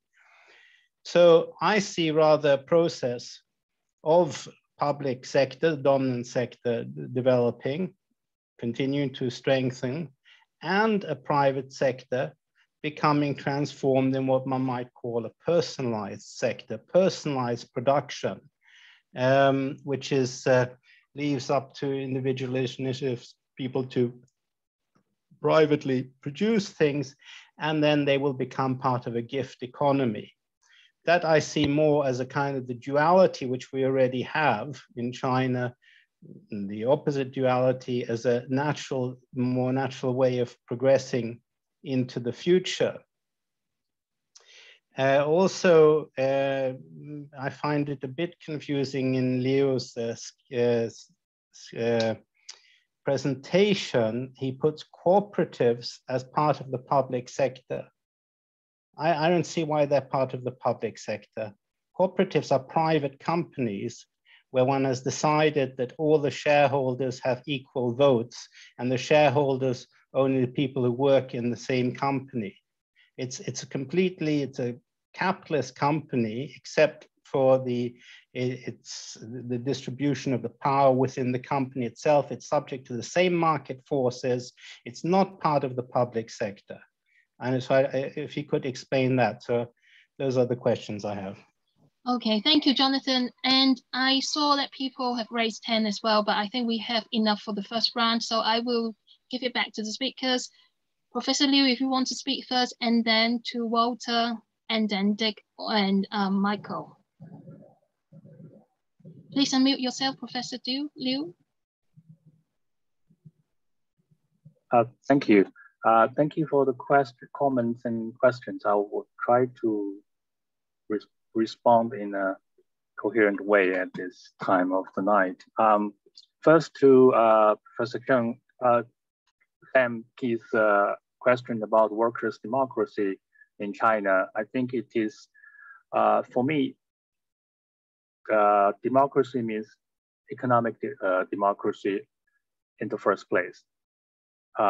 And what China has been doing is to uh, what we have a term called common prosperity, and it's the goal of all the development and of, at least at the stage of primary, uh, primary stage of socialism. And with economic democracy, with economic equality and uh, what we call common prosperity, people can have an equal saying, equal voice in their working environment, for example. And that is the at least the goal of our uh, effort. And I have to admit that in China, uh, for work, work because of the composition of workers today are mostly immigrant workers, which are quite different from uh, the old factories uh, 40, 50 years ago. And therefore, uh, the grassroots, the grassroots democracy actually works better in rural, uh, rural China than in uh, among the workers uh, who are not as organized as they were uh, before. And, and I admit that in that aspect, workers need to be more organized and the union should play a better role than, than it is today. And then to uh, Jonathan's question, uh, I don't remember I ever talked about cooperative as part of the public sector. Uh, I don't know where where, where the, does the question come from. Uh, it's well, but, you wrote it in, in the presentation, your written presentation, it says that. Do you mean, Jonathan, do you mean the ta table? Was it in the table? It was, it was in the table. Okay, right. Okay. Um, I, I, need to go back to, to the table and, and take a look. But uh, uh, first, to address the question, why do we move to that direction? Um, I, why not? I mean, I, I, I, I agree with you that restaurants, yes, it couldn't shouldn't be a big dominant uh, company providing food for everyone. And but I can do it, think about other sectors, especially we're talking about economic structure and we're talking about ownership of the means product of production. And it is in that sense that we are talking about the dominant, the, the dominant role of the public sector. Uh, I think under the current situation of the COVID-19 epi epidemic, uh, the role of the public sector is quite clear. Uh, without the public sector playing a dominant role, China couldn't possibly uh, eliminate all the cases, you know, as long as early as, you know, mid uh, June last year, uh, China has eliminated all its domestic cases of COVID-19, which I think is quite obvious why we should have a public sector. And uh, without the planning, without the macro regulation and management, is not close to an impossibility uh, of achieving that goal. And now I'm going back to the table. I'll, I'll, give the ground to others. I'll go back to the table and see where the cooperative is from. Thank you. Thank you. Thank you, Liu. Um, Walter? Okay. oh, lot, lots of questions here. Um, First of all, um, on, on the on the super exploitation of migrant laborers, um, I, I, basically just have to uh, repeat what John Smith had said. The question of super exploitation has to be looked at internationally. Imperialist companies went to China and other third world countries because they could they could they could pay wages much less than what they pay in the in the imperialist countries. In that sense, is internationally it's an international level of, of super exploitation. And many of the workers in the firms that work for, for the imperialist countries are the hundreds of millions of, of migrant laborers. The other aspect of that is their wage is inadequate for social reproduction. They are not in the cities in the cities where they work. They do not have the right to health benefits, to education for their children, and so forth. These have they have to go back to their to the rural uh, villages for that.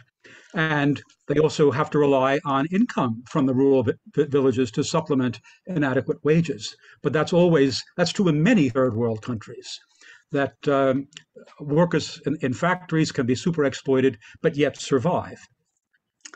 Um, one reply to um,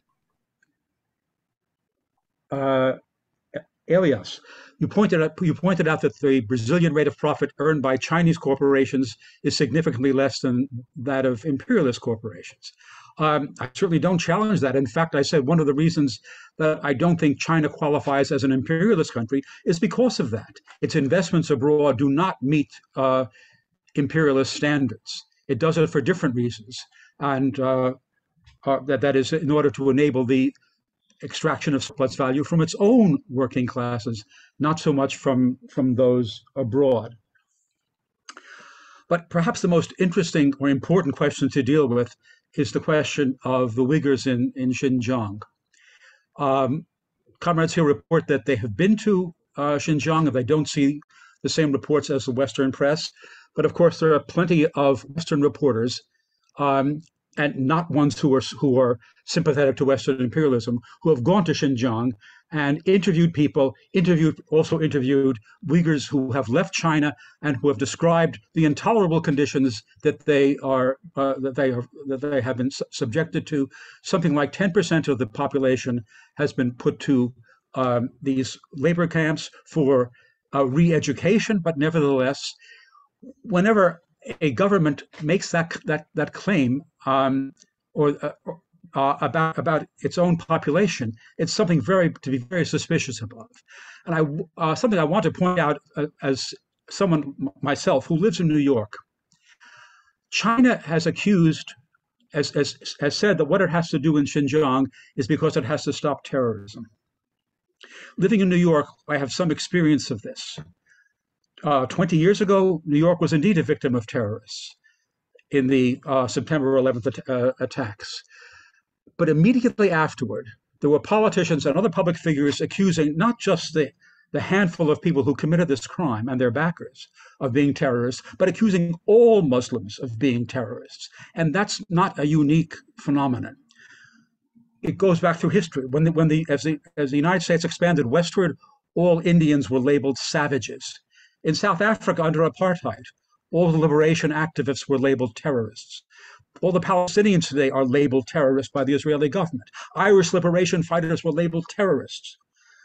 The Chinese authorities who claim that the Uyghur nationalist activ activists are terrorists are taking advantage of the US war on terrorism. In fact, the charge of terrorism against the Uyghurs started in support of the US crackdown, the US war on terrorism 20, 20 years ago. It's very suspicious when, when a government accuses its victims of being terrorists or being led by terrorists. And anyone who take, takes the word of oppressors that an oppressed people are terrorists ought to understand that they are lining up with imperialist style propaganda. And that's certainly what, what, what China is, is doing in its propaganda about, about terrorism. Now, the, the reports are, are, are not only co coming from, from, from right-wing writers. They, they're, they are all over. They, they are produced by interviewing with many Uyghurs. And I, I don't think it's a deniable fact that the Uyghurs are, are oppressed and in many cases subjected to forced labor. I did not say slave labor, by the way, but that's a, that's a secondary dis distinction. Dic? I, uh, I, I have not received any questions uh, on my presentation. So what I want to do is to elaborate a little bit in relation to the discussion on the various issues. Now, the, uh, Patrick Bond mentioned that uh, China has been in support of the imperialist institutions, such as the UN. Right? And uh, John Smith also mentioned that China buying US uh, treasury bonds as a sign of the supporting the existing imperialist system. Uh, and it's not just that uh, China's uh, uh, stimulus uh, packages popping up the world economy in crisis and so on. Now, of course, the question is that what is the alternative? without the alternative, how a feasible alternative, what could what could be done? Say China, if China is not in the UN, and that was the situation before 1971, its survival was in questions. Now, if China does not buy US Treasury bonds, then that would be serious problems for the Chinese economy because China's position in the capitalist or in the world economy is very much dependent on the, the hegemony of the dollar. So all this indicates that China has been forced to do so rather than willingly to do so. But then that is the uh, perhaps the most fundamental question about super exploitation defined in uh, John Smith's uh, sense, which I think is reasonable. But then that is the question as to what is the possible alternative. Now, perhaps I can share you a, just very quickly uh, a figure which uh, I think is uh, telling, but indicating labor productivity of Chinese urban. Right? So labor productivity is the curve in red. China's urban wage rate in real terms.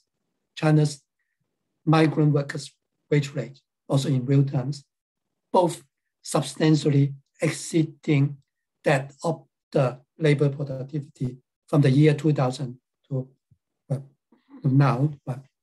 And uh, labor productivity growing exceedingly fast, almost 9% a year. Now, this is unique in the world. If you look at the reports by the ILO, you know that across the world, wage stagnation has been the case. Now, therefore, it might well be true that it is still super exploitation in John Smith's definition, but because productivity growth right, is not absolute uh, surplus value production, is relative surplus value production, but nevertheless, it could still be uh, classified as super exploitation according to that definitions. But then that there is the question, if not super exploitation, what could have been done? Now, I'm not saying that there's no better alternative, but it's, it's equally difficult as well. So what China has done is that at the while suffering from super exploitation, it has managed to have the developments, which we have indicated earlier in my presentation, as opposed to a world that is very dismal or miserable. So unless we can have a feasible alternative, it is difficult to just to criticize and to, or just to dismiss. It's just to dismiss it is not really a, a serious criticism. Thanks. Thank you, Michael. Well, guys, China's political structure is clearly not democratic. Workers uh, do not have open and opportunities to dictate or control or uh, change the leadership of uh, the Communist Party through any process that we would probably consider democratic. The regime operates in an autocratic way. Uh, it has cynical policies when it comes to foreign policy, as John has mentioned a few. Uh, it no doubt operates a, a rather uh, autocratic and repressive regime, maybe against certain elements in Uyghurs and elsewhere, uh, as it sees necessary. All those things may well be true, but it, doesn't seem to me that that explains it uh, or delivers the argument that in some way that it is capitalist or imperialist. Uh, to take um, the argument of John that uh, he's going to change Marx's view of super exploitation, which is where uh, the compensation from workers is less than the value of their labor power, their ability to reproduce. Uh, he says, let's get rid of that. Let's go for an international uh, rate of super exploitation. And anybody below that is clearly being super exploited, and those above are not. Well, if you take that definition, it's not just China. I would say probably 4 billion uh, people are now super exploited on that definition uh, because it doesn't, it's such an average, which means nothing at all really in relation to uh, what is going on in each individual country. In my view, I live in the UK, people are super exploited here. There are 1 million people on uh, uh, zero hours calls there are people who are not earning enough money even on a bare minimum uh, without having to resort to maybe several jobs and their conditions are very poor indeed. So there's super exploitation everywhere. And the argument that uh, super exploitation is uh, a justification for saying that China is capitalist, well, well it, it seems to me a very limited and weak argument, particularly when you turn it into an international average rather than looking at the individual positions in various countries. Uh, that definition seems to me to open up uh, a, a, a position where you don't really have any explanation of what's going on. What we do know is that 850 million Chinese have been moved out of at least the World Bank minimum level, which they regard as poverty level over the period of the last 30 to 40 years. That's a massive increase in uh, removing people out of poverty. And during the period of COVID, where 150 million other people, maybe more, have been driven back into poverty in various parts of the world, uh, China has continued to be able to reduce its poverty rates. It's not down to a level which I consider the abolition of poverty, as claimed by the uh, government, because if we're using the World Bank level, that's far too low. But even if you take a higher level, there's only one country which is seeing a dramatic reduction in the level of poverty uh, in its uh, population, and that is uh, China. So if there's super exploitation going on in China, then it's uh, getting weaker. That's the only thing I can conclude uh, from the data that we see there. Now, the argument that because the Chinese government and the state-led sector of the economy managed to avoid a recession in 2008-9, like the rest of the imperialist countries, by state investment and fiscal stimulus, and banks providing funds for that to be carried out is in some ways saving capitalism seems to me a ridiculous statement to make. China had to do that to uh, preserve its economy and keep up the standards and prosperity uh, insofar as it existed for the Chinese people. If there was an indirect result in that, it helped imperialism to, to recover uh, during the Great Recession. Well, how can China be uh, blamed uh, for that uh, task? It seems a very odd argument to make that China is capitalist or imperialist because its measures that it took place in its own country uh, during the, the, Great Recession somehow helped to save the capitalism. Actually, it didn't. Uh, so as John admits, the imperialist countries still went, had a big slump. Uh, the emerging economies had a significant reduction in growth. If you look at the growth rates of China during the period 2008 to 2010, it remained close to double digits. Nobody else could achieve that. The only other country of a major capitalist economy, which you call imperialist, which survived the recession in 2008-10 was Australia. Why was that? Because its main export destination was China. So China saved Australia. I don't think it saved uh, the rest of the world. Uh, and so that's not an argument for saying that it's therefore part of the capitalist system. I just cannot see how those arguments hold together. On the question of restaurants, well, you know, uh, as far as I'm concerned, we started off with a discussion of saying that communism and socialism means the end of money. It means the end of the state machine. It means the withering away of the state. It means uh, production directly to people on the basis of their need. That's that's the aim of communism or socialism. That's what we want to achieve. We want to get away, away of the class politics, get away of uh, commodity exchange by profit, the exploitation and inequality that goes on. That's the society that we're aiming for. Now, in this society that we could move towards socialism, maybe individual people would like to have they've got loads of time to set up a, a restaurant, a, a pop-up, and deliver the best possible food to people because they'll be able to collect it from the collective stores, all the raw materials for nothing. If they need it, they can they do that and they can reproduce it. And I'm very happy to attend that restaurant. I don't see what that's got to do with uh, suggesting that we can't have, we, we must reject planning on the grounds that we, we, will exclude little restaurants being set up by people as they see fit. Uh, uh, I do not understand this argument. The transition to communism requires the, the basis for developing the public ownership sector, increasing the planning uh, mechanism and reducing the law of value. But that doesn't mean to say that if we exclude the total law of value, we can't have restaurants set up by people in a corner uh, that have to be closed down because the central plan says you've got to have a huge restaurant. I don't know what that means. Uh, a national restaurant, I have no idea what that means. If we mean a chain of rest, small restaurants that people join uh, in order to provide us with services for nothing because we'll be getting it direct under communism, not being paid a price for it. Uh, so I think there's a confusion here between the transition from capitalism to socialism and what socialism would mean. I don't think socialism means the end of individual restaurants. It means the individual, the end of restaurants that you pay for. That's it. Thank you, Michael. You make us all hungry now. Thank you. but um, yes, regarding the questions on on Xinjiang, um, probably other issues regarding nationalities. Just to remind everyone, we had a panel, a paper in the second panel that discussed that. Um, so if you want to revisit um, the discussion, you can go onto our YouTube and watch that. There was a paper on um, the issues of nation and nationalisms and also on China, on Hong Kong as well. I think that would be of interest to quite a lot of people.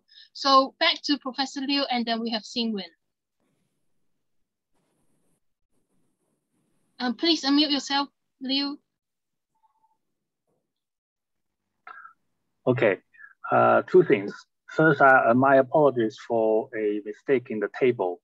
Uh, the, the, the content for uh, that includes co cooperative, joint stock, etc. for the intermediate stage of socialism. Uh, it shouldn't be there.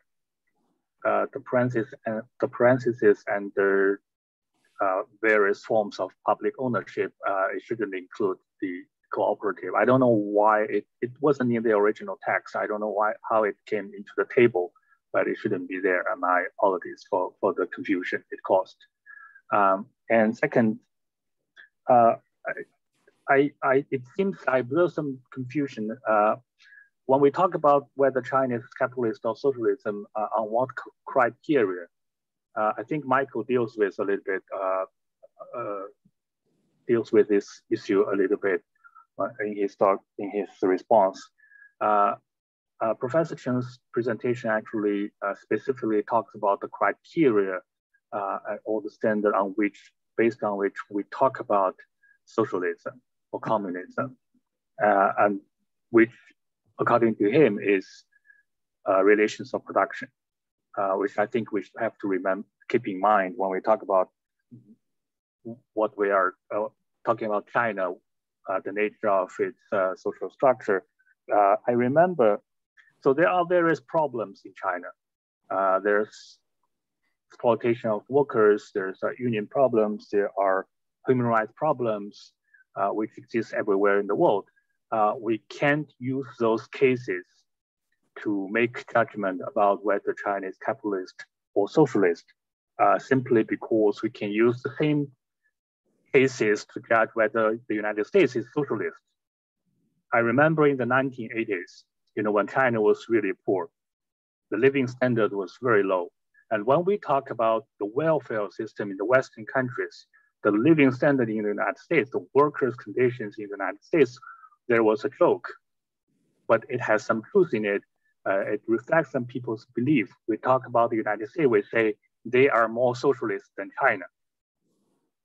But we cannot say, it would be ridiculous if we say the United States is a socialist country because it, you know, its welfare system, its living conditions of workers are better. Uh, it's the same to say that because China has a series of problems today, then it is capitalist. Uh, specific, specifically, I was surprised to see that the left, some people from the left seem to join the right, the far right, to accuse uh, the oppression of national minorities, uh, ethnic people, in, in, for example, in the, the Uyghur in Xinjiang. Uh, it is based on some manufactured facts or fake evidence that the, the, the right, the far right used to uses to smear China on the international stage. And I was surprised to see that a lot of left people in the left join the far right to, to the same accusation China. I, I was really confused. Uh, that's all. Thank you very much to you. Um, Xin Uh, hi, uh, I have a, a question to uh, Professor Michael Roberts. Uh, you mentioned that 68% uh, of private companies have party body. Um, uh, do, do you mean that um, it made China less capitalist or more um, authoritarian? Because I feel there are two, um, there are um, there are two dimensions of meaning here. And I I, uh, I feel that um, the party bodies in private company, they uh, don't control the company. Uh, they are employees who receive uh, uh, salary from the owner of that company. So they serve the interest of, of the private companies. And also the company will not uh, choose someone they can't control. So, so I think, um, I think party bodies in private companies are just some uh, form of the socialist presence. They are not really controlling uh, the private company. Uh, and th thank you for your presentation. Uh, it's, a present, uh, uh, it's a learning process for me. Thank you. Thank you, Simon. Um, I just wanted to mention that I noticed there are lots of discussion in the chat room. I won't be able to read them all out. So if you wanted to make your points, please raise your hand and um, just um, just um, just talk to us. Okay, thank you. Um, Walter, raise your hand. Yeah, thank you. Um, first of all, some uh, responses to Michael, who raised the question of super exploitation and, and criticized uh, John Smith's uh, internationalist view of it. I think it might be worthwhile to uh, distinguish two kinds of super exploitation, relative and absolute. Um, the the international form of super exploitation is relative to the wages that imperialist countries have to pay to workers in, in their home countries. And it, it pays third world workers much less. That would be relative super exploitation. An absolute su super exploitation would be paying workers less than the necessary to reproduce um, the, the, working class, for, to social reproduction. And I say that doesn't mean the working class doesn't survive, but its wages don't don't allow that. And I think both of those are taking place in China, and and especially in, regard to the um, the migrant workers. Um, various people have raised the, the, the, fact that Chinese workers are wages have been going up, um, along with productivity. Yes, of course, that's that's the class struggle, and everyone who's a socialist or a Marxist should certainly be in supportive of this, supportive of that. Um, the fact remains that the workers aren't allowed to organize independently, form the trade unions, uh, form uh, workers' clubs, form uh, parties independent of the uh, ruling party. So uh, China's workers' rights are, are, are, are, restricted nevertheless, and China's workers therefore are, are restricted in how far they gain, how far they can wage the class struggle. Um, a further point to, to Michael, though, I, that I was wondering about if you say China is in transition, presumably uh, the question is from, from what to what? Is it now uh, capitalist trans transitioning to socialism or what? And if it's in transition, uh, what's the ruling class?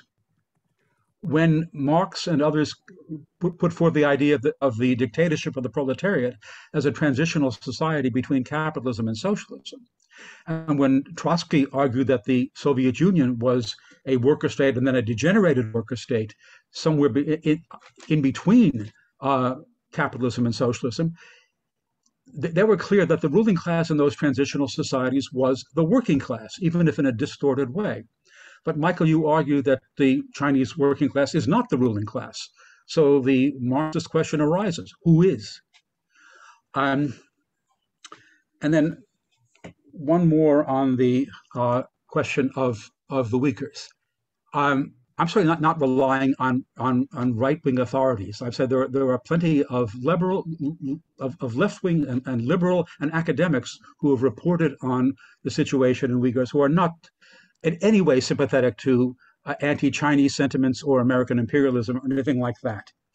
In fact, the far right in the United States is very much supportive of Chinese uh, uh, policies towards the Uyghurs. After all, the Uyghurs are Muslims, and the far right in this country wants, in my country, the United States, wants is is always willing to attack Muslims. Donald Trump was was was supportive of Xi Jinping's policy at one point. Then then his policy changed. Um, but the right wing in general is always supportive of any kind of suppression of Muslims um, anywhere. And as I think John Smith pointed out already in this discussion, of the um, uh, the, the, the Burmese in Myanmar, whose whose repressive regime is also supported uh, by China. So the, the right wingers support repressive governments everywhere, and they do not support struggles against them. Thank you, Walter. Um, I got one more hand from Otto. Now I know that we have gone beyond our finishing time, so it just really depends if you want to um, continue to go on. Maybe I suggest maybe 10 more minutes maximum because I know that people are tired. But um, thank you very much for the participation in the debate in the chat room as well. Please continue, feel free to continue at your point. So Otto, please unmute yourself, yes. Yeah, thank you. Um, of course, I will be very brief. Just two remarks. Um, Mao Zedong, economic growth, GDP growth. I mentioned 5%. Dic Lo was at 3%. Michael Roberts 6.7%.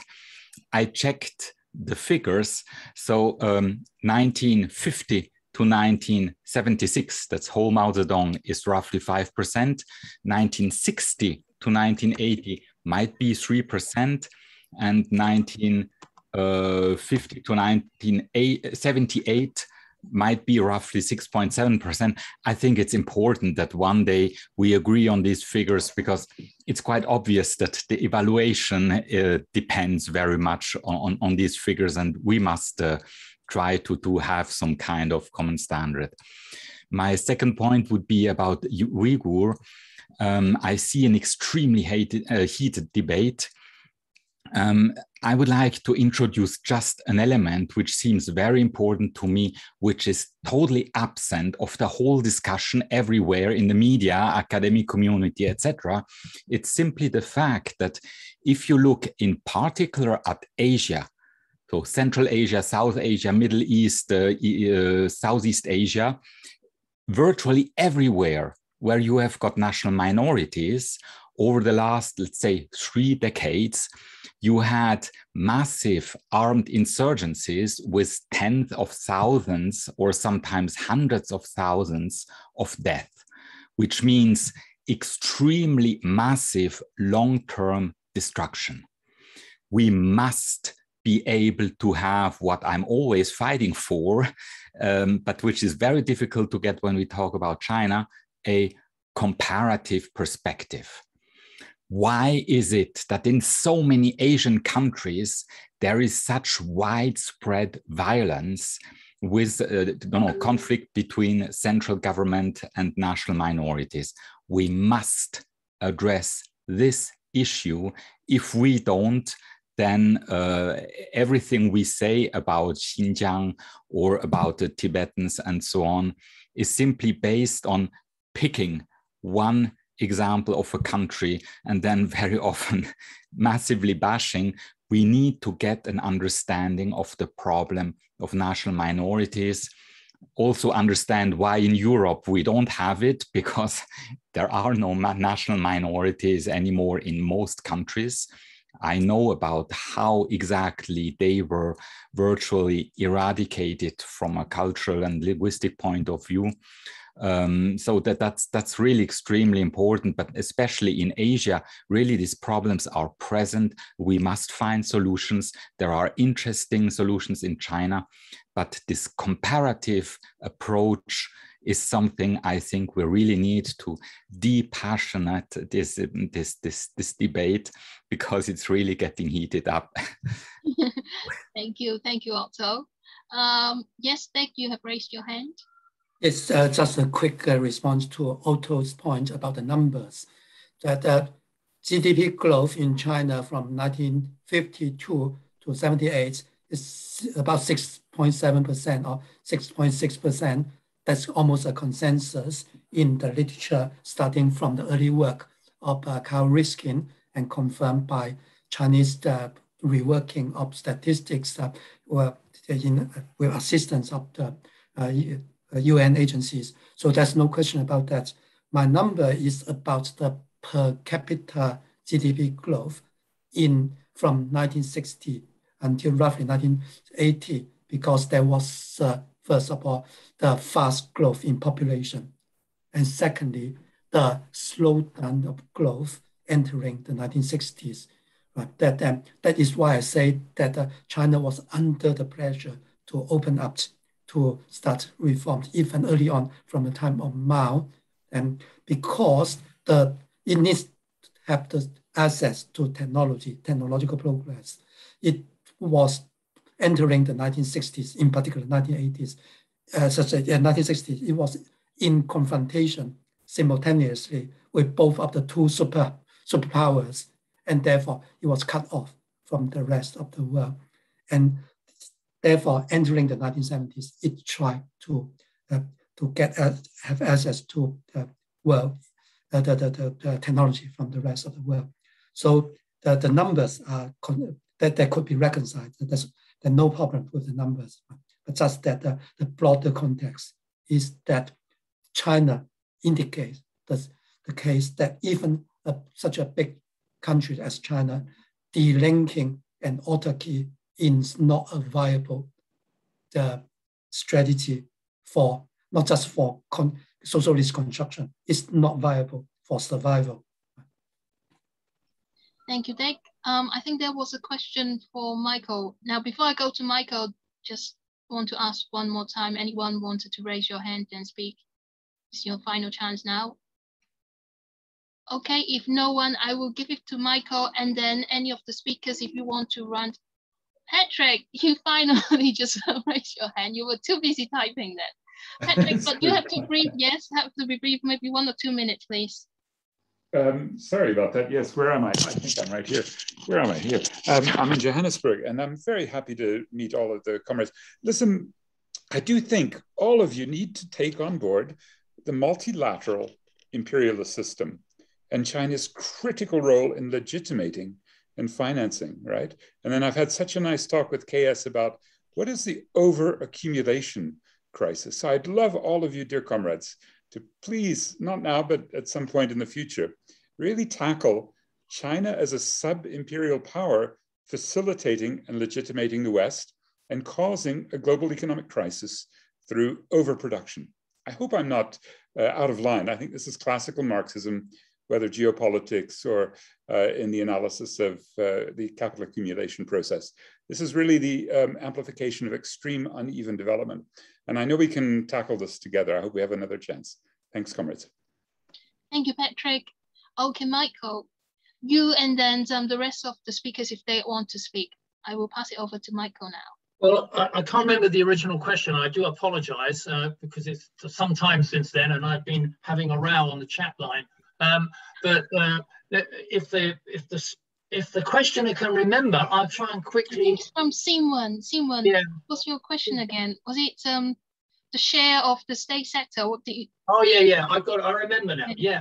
So I think the uh, the, the evidence is that uh, what the Communist Party has done is in, in the sectors uh, where they're not state-owned or publicly owned, uh, but are large and increasingly even smaller, they've started to intro- they introduced some time ago the idea that Communist Party members will sit on the boards or they will monitor the activities of these companies, and there will be some of the decision-making role if, of these companies will include Communist Party representatives. That's clearly a move to control the private sector to some extent and bring it into line with the planning uh, targets that the uh, uh, Communist Party has got nationally, locally, and regionally. So I see that as part of this tension would exist between uh, the, the capitalist sector, the large capitalist sector in China, with its billionaires, with its uh, uh, financial sector going out of control, as the, Xi has been saying recently, and the uh, aims and targets of the of the planning mechanism and the and the government's uh, policies uh, for China as such. So that's just one part of that, I think.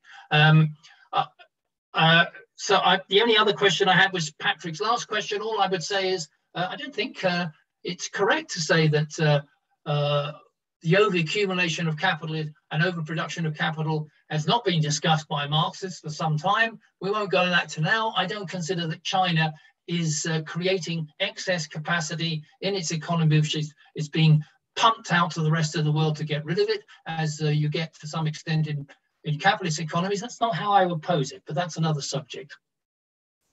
Thank you, Michael. Thank Yes, uh, my speed of typing is uh, too slow. So I, I respond to Patrick's uh, point about, right, first of all, he talks about over capacity, uh, excess capacity, over accumulation.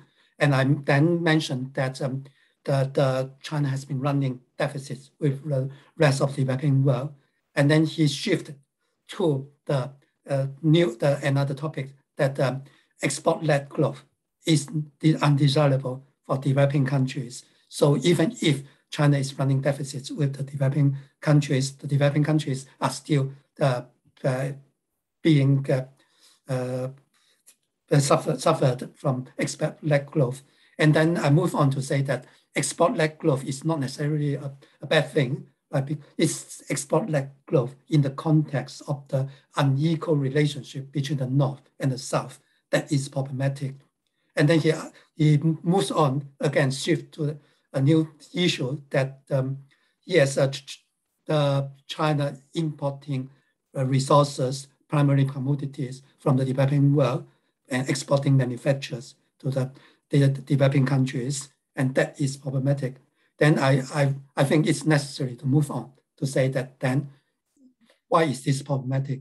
Right, that um, China, we know the great commodity boom results in for the first time in a long history, the, uh, the terms of trade improving for the commodity exporting countries and the massive deterioration of the terms of trade for China. And is in, this is in any event is not consistent with the unequal exchange. And the the North-South relationship is problematic because it's unequal exchange. In the case of China, can we definitely say that China exporting manufacturers, importing commodities from the European countries, is this really unequal exchange? And we, only when we can confirm this, that we can say that China is causing problems and for the developing countries. And Therefore, China is so-called imperialist or sub-imperialist. Thank you, Dic. Yes, Walter?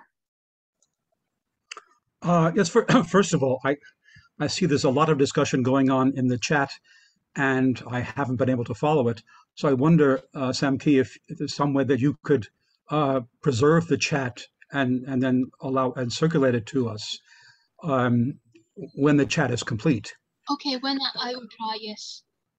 Okay, so back to a number of points. Um, just one more point to make about Xinjiang.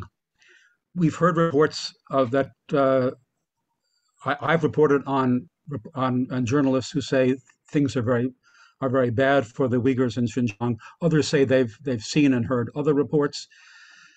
One problem is that the Chinese government does not allow independent journalists into Xinjiang at this point. It does not allow communication between people in Xinjiang and the outside world. So that in itself, I think, is uh, is evidence that the Chinese government has something to hide. But we uh, one way to solve the problem of whose evidence is correct, whose facts are real and or fake, would be for the Chinese government to allow journalists in to check that out and, re- and report. Journalists of whatever persuasion, but perfect, would certainly prefer those of leftists or, or Marxist persuasion. Um, and just one more point on the, the question of is China capitalist. I've, I said it before, but I think it's the essential point. In determining the class nature of, of society, uh, for Marx, the key question is who produces the surplus and who captures the surplus. I think in China, there's no question that the surplus is the surplus is produced by wage laborers, whether they are exploited or super exploited, and that the the surplus is captured by people who are seen as private capitalists or um, people who, who are part of the state apparatus or whatever. But nevertheless, there is a class of people extracting the surplus value, capturing the surplus value that they extract from China's huge proletariat. And they're not all foreign imperialists. There are plenty of such people within China. Who are they? Uh, uh, Marx pointed out that the history of class, of class struggles is always a history between a, a, a ruling, sorry, a productive class and a ruling class. When the productive class is proletarian, the ruling class is almost by definition capitalist, even if it's capitalist in a different form. Marx pointed out that class societies, in particular capitalist societies, take have an infinite variety of forms. State capitalism or China's hybrid of state capitalism and private capitalism is one of those one of those varieties. Thank you. Otto, I saw that you raised your hand, but yes, just very quickly, please, just quickly. Yes, very fast, just trying to make everybody hate me. I would be categorical regarding letting journalists into Xinjiang as long as journalists and academic researchers are not willing to have a real comparative approach, I would say the Chinese government must not let them in because as long as they don't do this, as long as they're not, not willing to really see the problem in Asia in its totality, as long as they only want to see Xinjiang, Tibet, etc., uh, they are doing China bashing and must not let them in because I saw the damage this has done in Tibet. I've spent three months there and years trying to understand this. Really, it's devastating. Thank you. Thank you. It was a very important contribution. Thank you for doing that. Um, Dic Lo, you're still raising your hand. Okay, yes, give Dic Lo. Yeah, just, just a quick word, right? That I, I have seen so many self-labeled left, Marxist, socialist, critical radicals that they their portrait of what has happened in Hong Kong is completely different from what I have seen personally because I'm from Hong Kong. I see it as really a kind of local chauvinist, almost fascist movements, but, but then it has been portrayed by all kinds of self-labeled left to be progressive. So how can I trust, or well, not me, but I'm not important, but how can people trust that the self-labeled progressive radical masses, they are, they are truly they are true to their names. Thank you, thank, thank you. Um, Liu, I think it's, um, yes, I gave every speaker a chance to do the concluding remark. So I would just invite you to just do the concluding one now. Oh, thank you. I didn't realize I have the last chance. Uh, just want to talk about uh, personally, uh, I'm from Inner Mongolia Autonomous Region, which is another uh, region of ethnic minority. And I personally have been to Xinjiang and I that's why I find those accusations about Uyghurs and about the general sentiment against Muslims is very absurd. In my region and the places I travel, uh, Muslims is a good good word. In Inner Mongolia, the Muslim is a good word. It represents honest business, clean food, uh, all the good things. Uh, that's that's why I can when the journalists go to Xinjiang, can can they find does he or she find problems? Of course. If you find one case, two case, 10 cases, even 100 cases of oppression, does that mean Uyghurs are generally oppressed in Xinjiang?